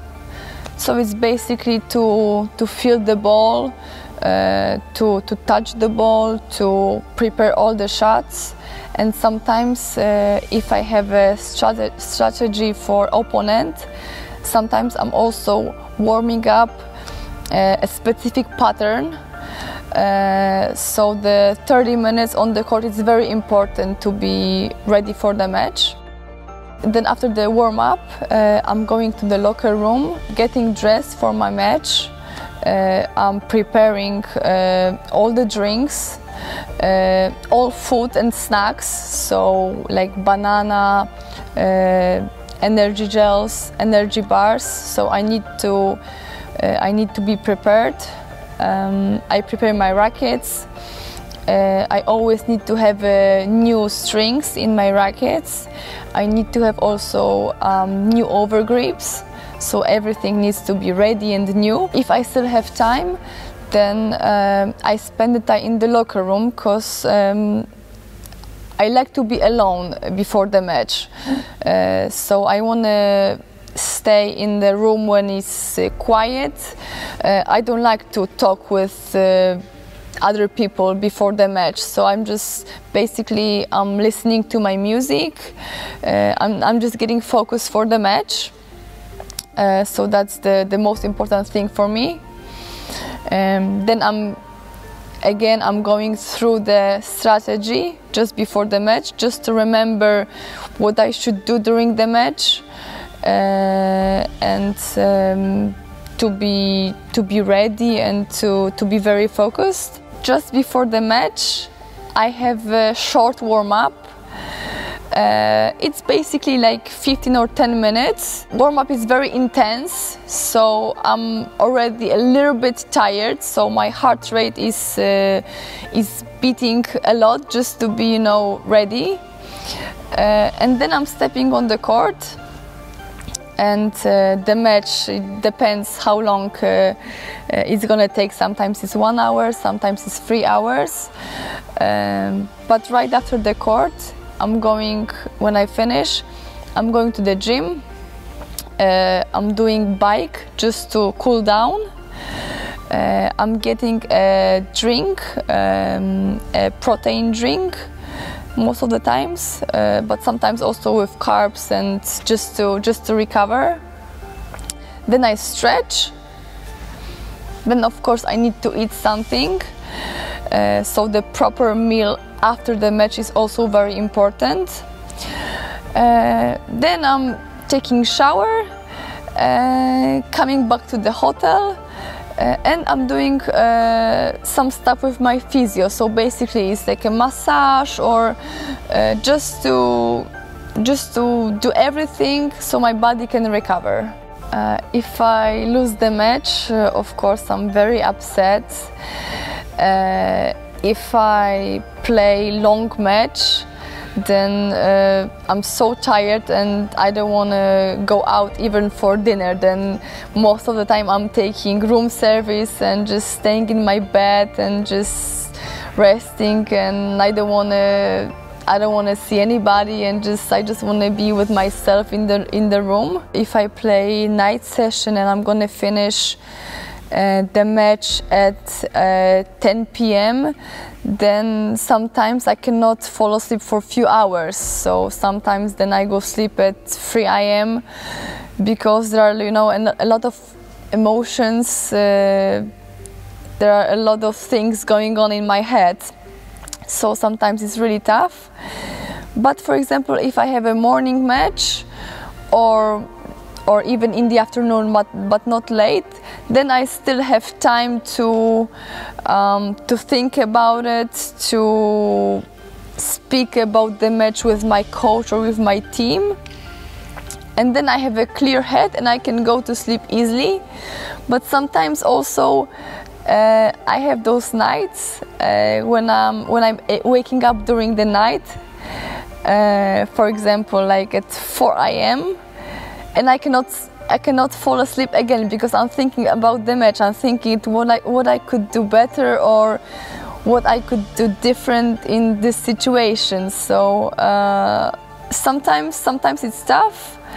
Uh, but it depends of the match depends if i had some chances if i had match point or if it was important tournament so it's really it really depends of the of the um, level if I have a plan uh, and if I have a schedule for for for my whole day, uh, and if something is going wrong, then I'm not happy about it. I don't like it. I I like to have uh, the schedule.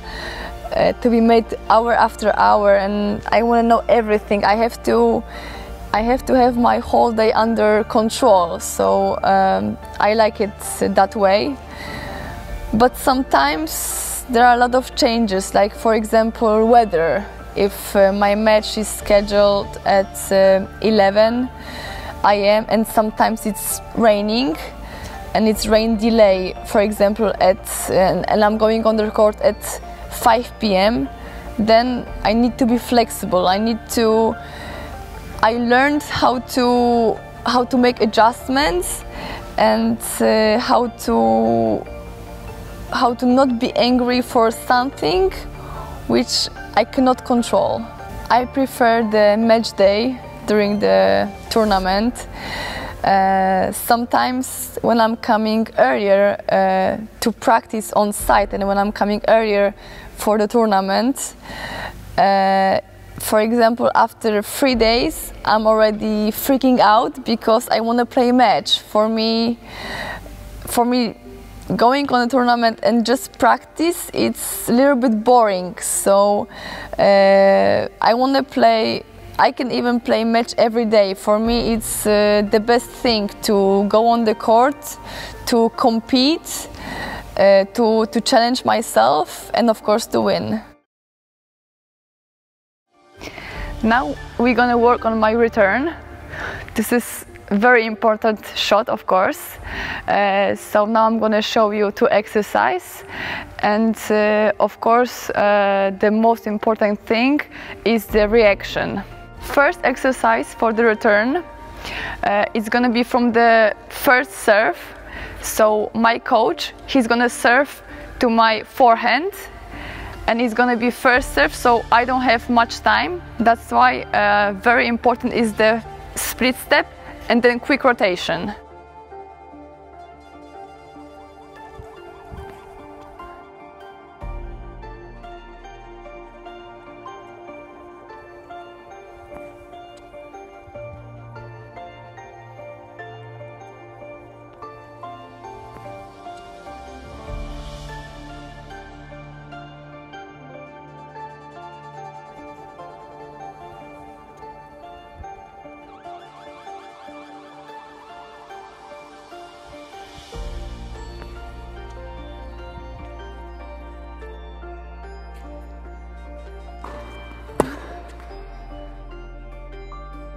Returning first serve means dealing with fast balls. Remember to fully focus on control because there is no point to add additional power to the incoming ball.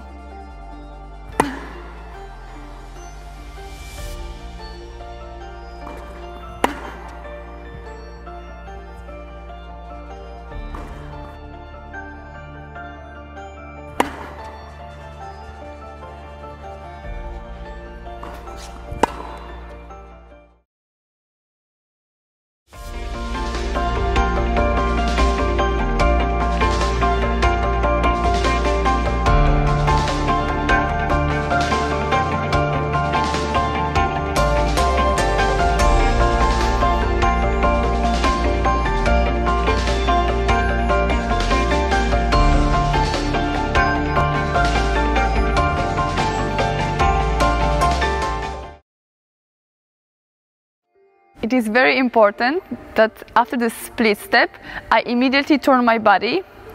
So I'm rotating to the forehand side and I'm having uh, elbow very close to my body.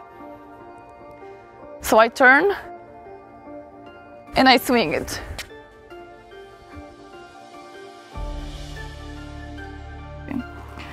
To achieve consistent return, you need solid point of contact. By turning your body and shortening backswing, you have a big chance to hit the ball in front of the body.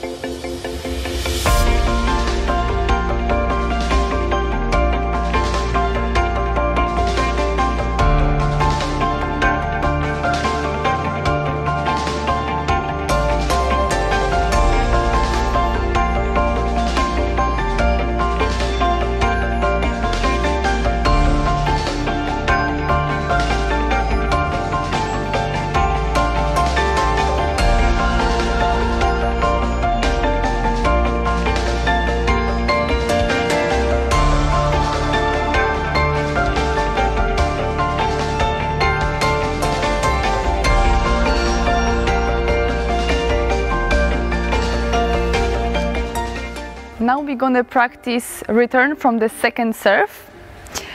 So um, most of the time for the second serve, I'm staying like uh, one meter inside the court because in women's tennis the second serve is not huge. It also depends of the of the opponent. Uh, depends if the serve is slice or kick. Uh, but most of the time I'm trying to be aggressive. That's why I'm staying uh, inside the court.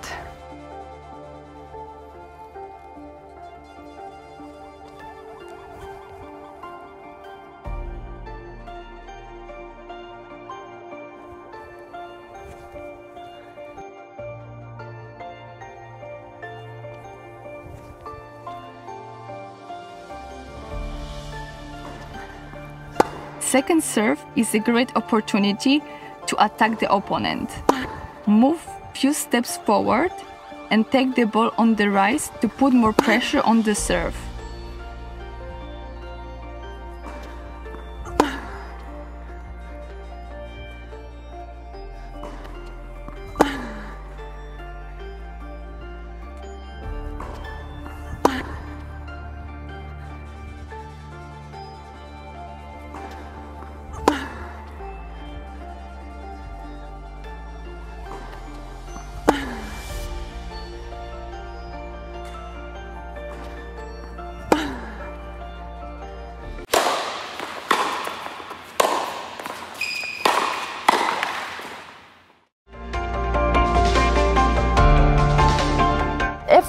Player has, some pattern uh, for the important moments which they are using it. I have the same. At the top level, uh, like I said before, everybody can play forehand and backhand, but it's all about those small details.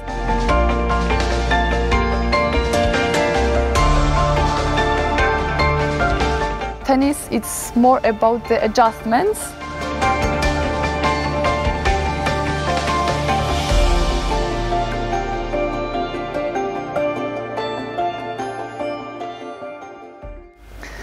strategy is very important uh, during uh, matches.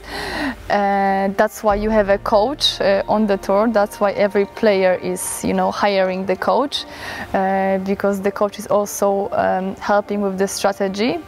Um, now it's much better than uh, when I was a junior because when I was a junior there was there was um, no YouTube and no internet. It was like um, 15 years ago so it was very tough to um, to find some you know matches um, of my opponent uh, especially in junior because the junior tournaments uh, there were no on TV uh, so nobody was recording it maybe just the crazy parents with with cameras. Uh, but there was nothing like that nothing like like now where we have you know uh, videos and cameras everywhere. Um, so actually that time when I was a junior, um, I was more focusing on myself, on my game, and uh, that time when I was a junior, uh, I was practicing with my dad. He was my coach, um, so we were sitting before the match and we were talking about it. But it was more uh, about me but sometimes uh, we also know the girl. Sometimes we we saw uh, my opponent before like from previous tournaments. So then it was easier. Then we knew the girl uh, and we could also um, talk about the strategy. But right now uh, this is very easy because uh, everything is on the internet uh, so you could basically watch um, all the matches of the players. Uh, so before every match, uh, I'm sitting with my coach and we are um, discussing uh, the weak, weaker sides uh, of my opponent. at the top level, uh, like I said before, everybody can play forehand and backhand, but it's all about those small details. Uh, and also during the important points. It's uh, also um, it's also uh, it's also the key to to read the opponent because uh, every player has has some pattern uh, for the important moments which they are using it. I have the same. So if it's uh, if it's like a critical moment during the match then um, i feel more confident if i'm using this pattern which i learned during the practice which i um, spoke with my coach uh, and this is this is really uh, I think um, thing which every player are doing or for sure should do. Sometimes I have a note with me uh, and I put it uh, in the bag. Uh, but this is the note is more about my game. It's about uh, it's about my patterns and my um, my things which I need to remember about during the match. Uh, but if it's about the opponent, it's more in my head uh, because we already we are talking about it uh, before the match. So um, then it's just a reminder um, in the morning during during that match day. And then it uh, stays in my head. Sometimes, uh, sometimes we have to change our strategy, you know, because sometimes uh, for example, the girl has a weaker forehand, but on that day when she's playing against me, sometimes the forehand is crazy good. So then I cannot play to her forehand because on that day it's, it's, it's her better shot. That's why sometimes I need to adjust. Uh, this is very important. You know, tennis, it's more about the adjustments. Uh, and uh, sometimes also you have to count on yourself. The whole game changes uh, depends of the surfaces but not the patterns uh, if i play important points then it doesn't matter if it's grass or or clay I do the same things because I feel confidence with it. It's more uh, about the opponent. This is the thing which sometimes change, uh, but I don't change it for surface. For example, if I play girl um, who is um, like a, you know good uh, strong hitter. And then I'm changing I'm trying to change the rhythm. So I play either slice or uh, I play higher board just to get out of uh, of her rhythm uh, and to get out to get out her of her comfort zone. And for example if I play girl who has um, weaker forehand then uh, the first ball, for example, the return, I play to her forehand uh, because it's important to open the point with her weaker side or if it's important moment, then also I play to her weaker side because I know in my head that there she is not uh, feeling confident. When you are a junior, you are like pretty small and you don't have that much power. So it was more about not to make a mistake.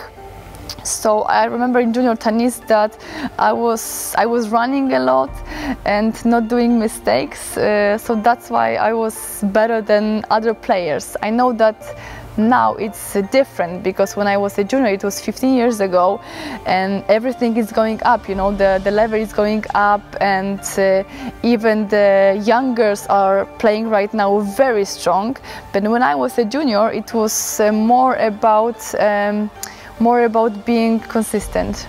It depends of the of the junior of the player um, how much strategy we can put into her head because uh, sometimes if the girl is still immature then it's going to be too much for her. Uh, so I think uh, basically the most important thing is to think about uh, about like um, herself, like about her style. Uh, I don't think it's, I mean, sometimes, of course, it's important about the, the strategy, but I think it's more to keep the emotions, um, more to um, focus um, on her game than on the opponent. Now we have uh, important uh, moment because uh, my opponent is serving, it's deuce, I want to surprise her, so uh, I play return uh, slice either forehand or backhand, it doesn't matter, but it has to be slice. Uh, and the first ball after the slice, uh, I try to play to uh, to her weaker side. Uh, it's im- it's important to have the the game plan in my head because when it's coming to this uh, to this uh, critical moment in the match, uh, I know my plan, I stick to it, and it's give me uh, it's giving me more confidence. It's quite easy to return fast serve using backspin. By doing this, you take the pace of the serve, so you force rival to generate more power with the next shot.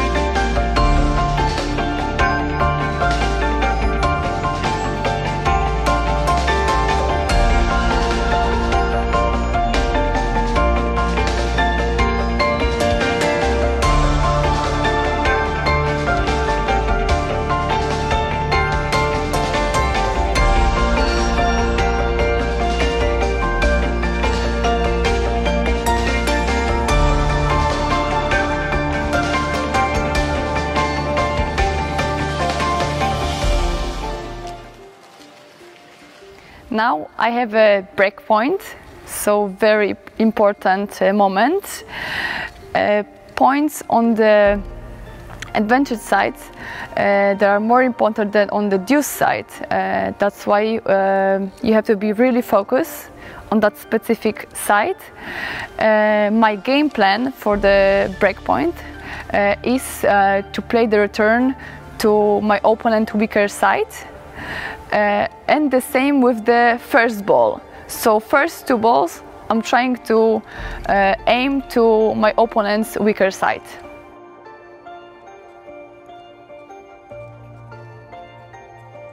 During the match, you have to think tactically. By playing balls to the opponent's weaker side, you put more pressure on rival, so you can expect him to make more errors.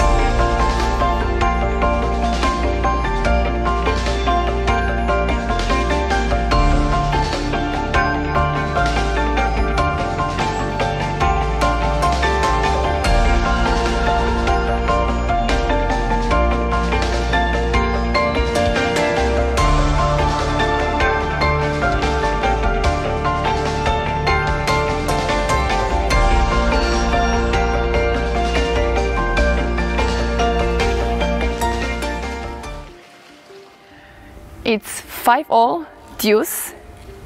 Important moment. I'm serving, and my plan is to use the angles of the court. So I'm trying to hit the serve. Uh, I'm trying to aim to, to the forehand, so very wide serve. And then I'm playing the second ball to the other corner. So I want to move my opponent as much as possible.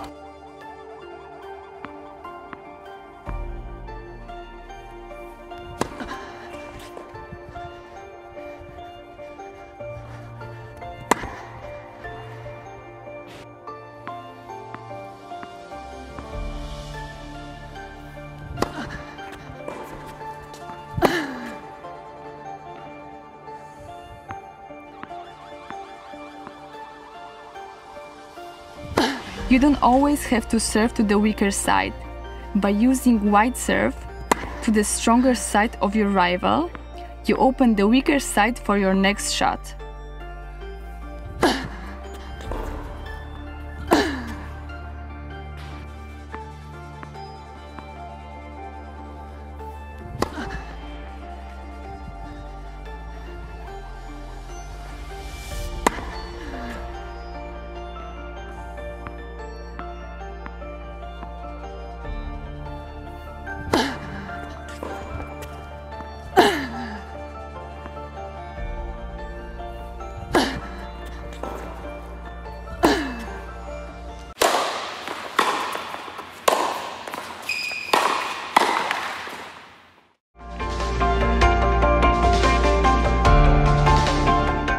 We are born to to make some exercises every day to to run to to play. I remember that my sister Aga she was helping me to put the socks on because I, I couldn't bend.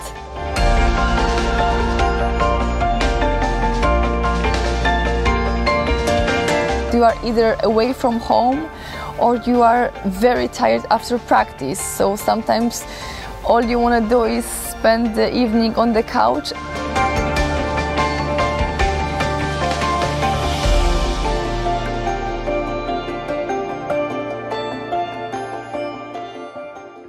Some of the people are saying that the professional tennis players are feeling pain every day. Uh, but I think it's it's too much. Yes, we are feeling the pain most of the times, but it's not like every day. Uh, but yes, when when someone is working hard, practicing hard, then very often we have uh, small injuries, small pains. Uh, yeah, it's uh, it's part of the of, of our job.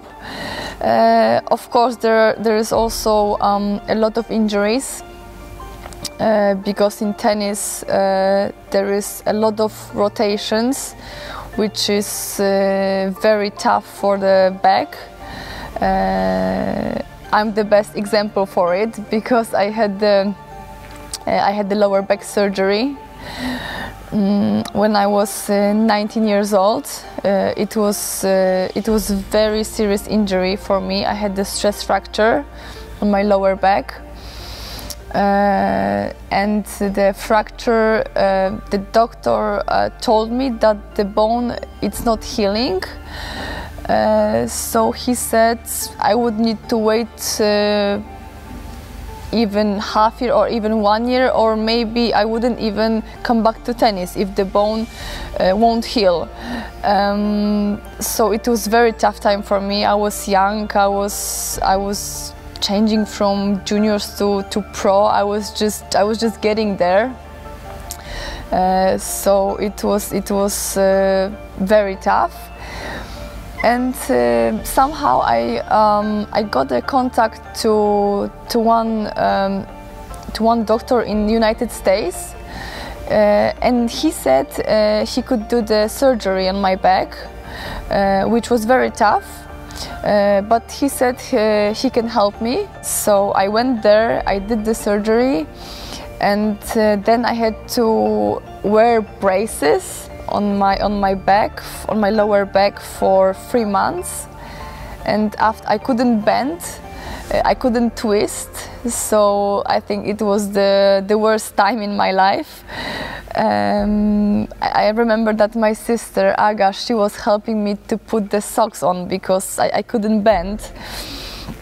Uh, but I believed so much that, that, that this uh, surgery it was a good idea that after four months I was already on the court uh, practicing very light but I was there and uh, I was feeling okay. I still had some pain which, which was uh, which was of course normal after the surgery but I was I was feeling really good so after six months I came back on the tour uh, and I could play I could play again. I was so happy.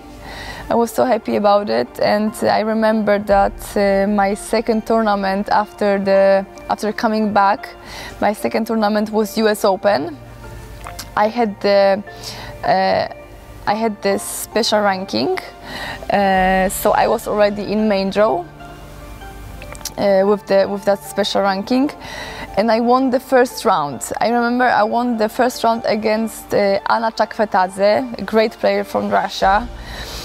And I was so happy about it. Like I didn't believe that after not playing uh, half year, uh, after having a surgery on my back, which was very, very risky and tough, I managed to come back and I won the first round at the US Open. So it was a huge step for me that even after this kind of surgery, I still I was still able to fight, uh, to practice, and to come back at the at the great level. Those injuries which I had made me a better player, like better fighter, because I know that I had I, I had very tough moments uh, in my career, in my life, uh, and I went through them. So right now, I'm enjoying more tennis because right now when I'm healthy, when I don't have any injuries, I'm just enjoying it.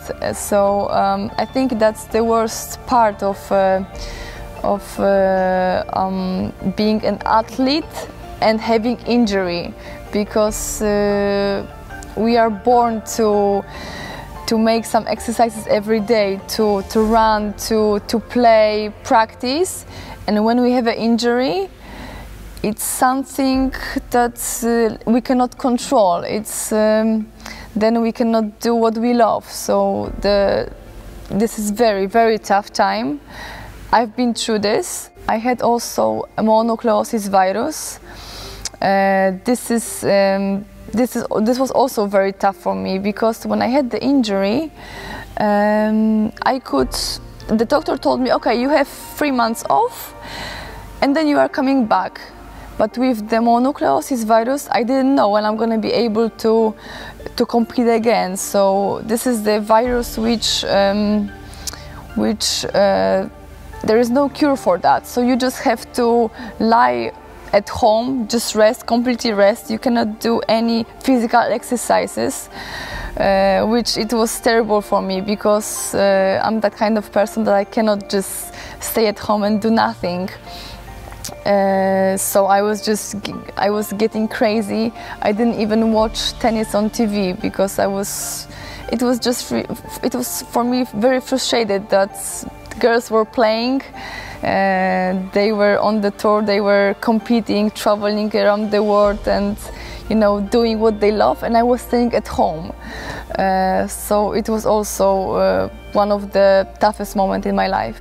Uh, life on the tour uh, is very lonely. Uh, I was lucky that I had my sister most of the time, so I didn't really feel that way because I was with her all the time. We were sharing the room uh, during the tournaments. Uh, so I was lucky, but uh, but right now, for example, when uh, when she's uh, not playing any, anymore, when she retired, uh, I can feel that it's tough because um, you are away from your family, basically almost almost whole year because uh, we are playing uh, 10 months there are tournaments so 10, 10 months we are away from home. Uh, then there is uh, the off season, but um, but the the pre-season, most of the girls are doing also away, from home. They are doing uh, in warm places, for example, in the States or or Dubai or Doha. So they are also away, from home, away from parents. Uh, and it's also tough to to keep contact with friends because some of the friends which um, they are not from tennis which are not athletes they don't understand that um, sometimes you don't have time to to meet with them or to spend time with them because you are either away from home or you are very tired after practice. So sometimes all you want to do is spend the evening on the couch and not to go out and uh, and, and, meet them. And it's sometimes yeah some of the people uh, they don't understand and sometimes they just think you don't want to spend time with them but it's not like this. We are not really friends on the tour. Uh, there are sometimes uh, players who have like better connections with each other um, for example my best friend was still is Caroline Wozniacki and Angelika Kerber. Uh, so I have those two very good friends uh, friends on tour, but I know that some of the players they don't have any friends. Uh, because we are talking with each other in the locker room and in the restaurant or on site but then for example in the afternoon uh, we are going on the same court and we are competing against each other. So sometimes it's tough, you know, because then we are, you know, spending time together like in the locker room, having fun, and for example, next day we have to play against each other. And some of the girls, um, some of the girls, they don't know how to lose, you know, and they think that if I beat them on the court, we cannot be friends anymore. So that's why friends uh, on the tour it's not it's not really um, often. Now I'm going to show you exercise for serve. Uh, this is the only shot that we have the full control on because the opponent has nothing to do with it. So uh, yeah, this is actually uh, the most important shot during the game because it uh, it is opening uh, the point uh, and also uh, very important if the surface is fast. The first exercise uh, is going to be for the rotation. Uh, the rotation before the contact point with the ball and after. So um, the rotation it's helping us with the power in the serve. so it's uh, it's very important and uh, it's worth to practice it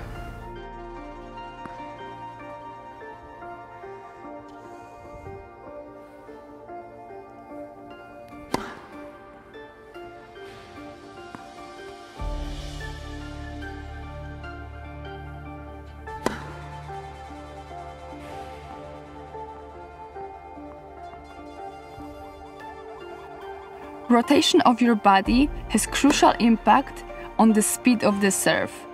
The best players in the world generate high speed by coiling and uncoiling different segments of own body.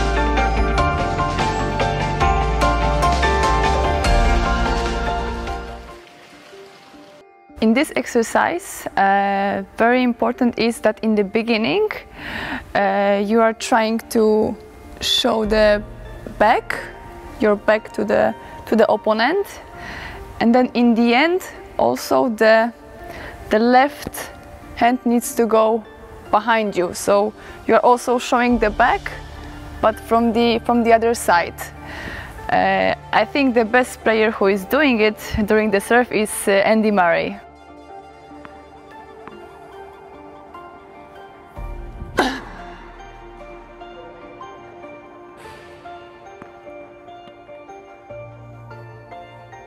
If you are working on technical aspects of your serve, focus just on one segment. Trying to improve many areas at the same time won't help you build effective serve.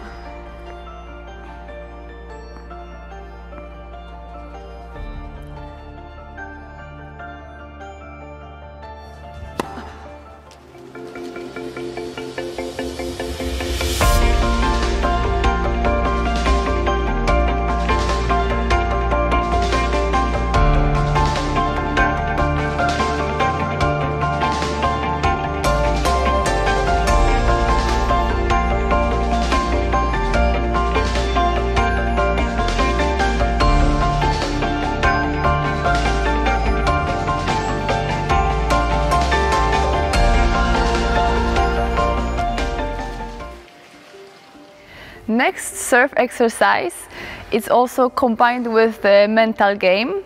So I have here the zone. I have 10 serves. Uh, and for example, if I put five serves here in the zone, in the next 10 serves, I have to, I have to put more because if I put less, then I'm losing a coffee because I always bet with my coach. So, um, so yeah, the, the second uh, part, the second 10 serves needs to be better than the first one.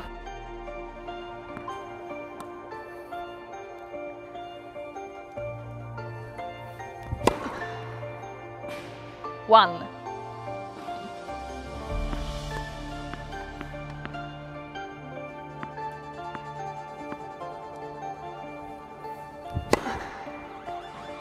Two.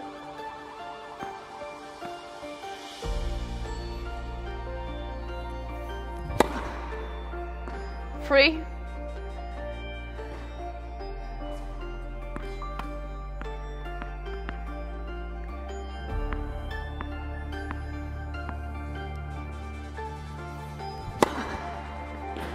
Four.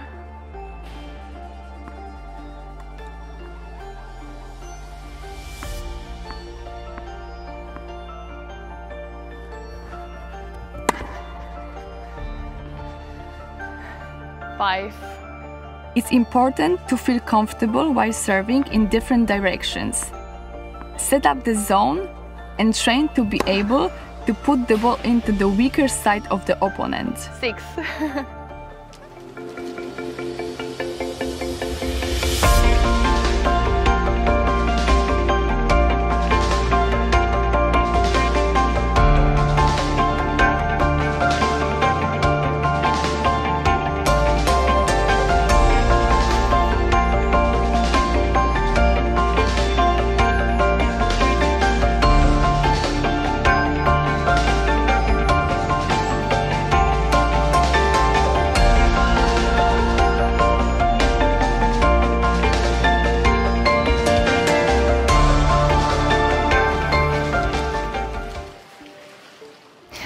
Now the mental game begin because I have to put seven serves in the zone if I want to win the coffee.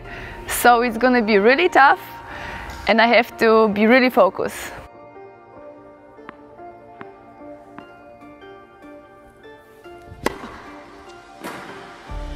One.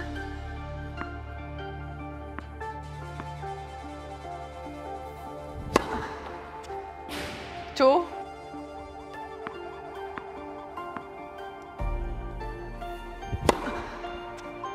Three.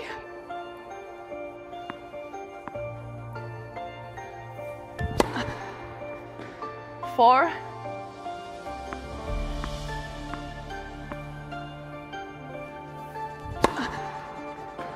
Five.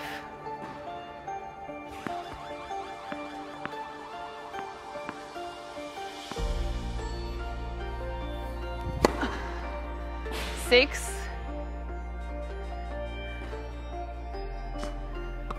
Okay, this one is really important.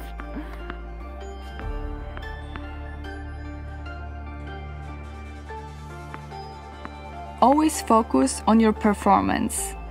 If you will start thinking about the score, you will feel more pressure.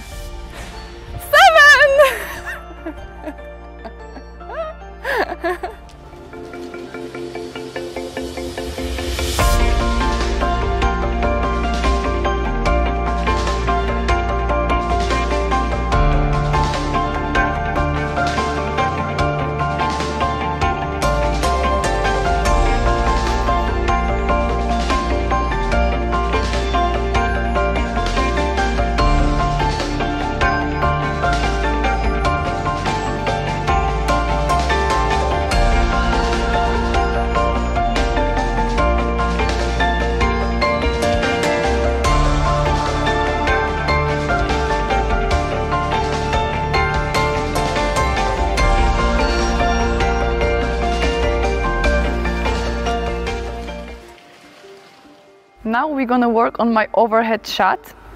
This is a little bit similar to serve. Uh, so by improving your overhead, you're gonna also improve your serve. So the first exercise, uh, I'm gonna be standing close to the net. Uh, my coach uh, will uh, feed me a high ball, so I need to go backward and I have to play the overhead shot.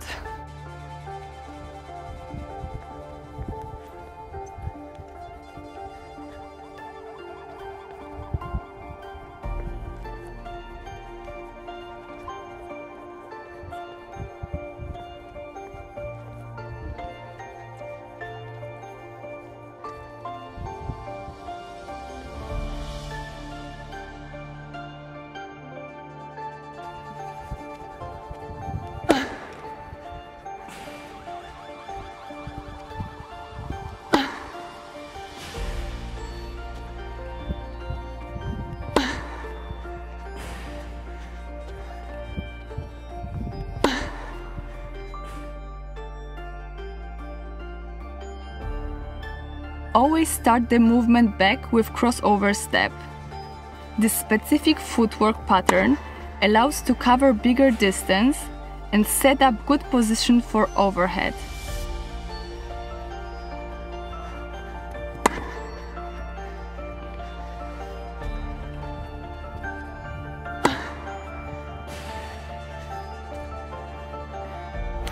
Pay attention to my legs uh, because uh, I'm moving uh, backwards very fast so uh, so the re reaction is very important here. And then I jump from the right leg so the jump is helping me uh, a lot uh, and also if the ball is very deep so I catch the ball a little bit behind me then I put more slice because this is very tough ball and the, the placement is uh, more important than the power. Remember to come to the net as quickly as possible after hitting overhead.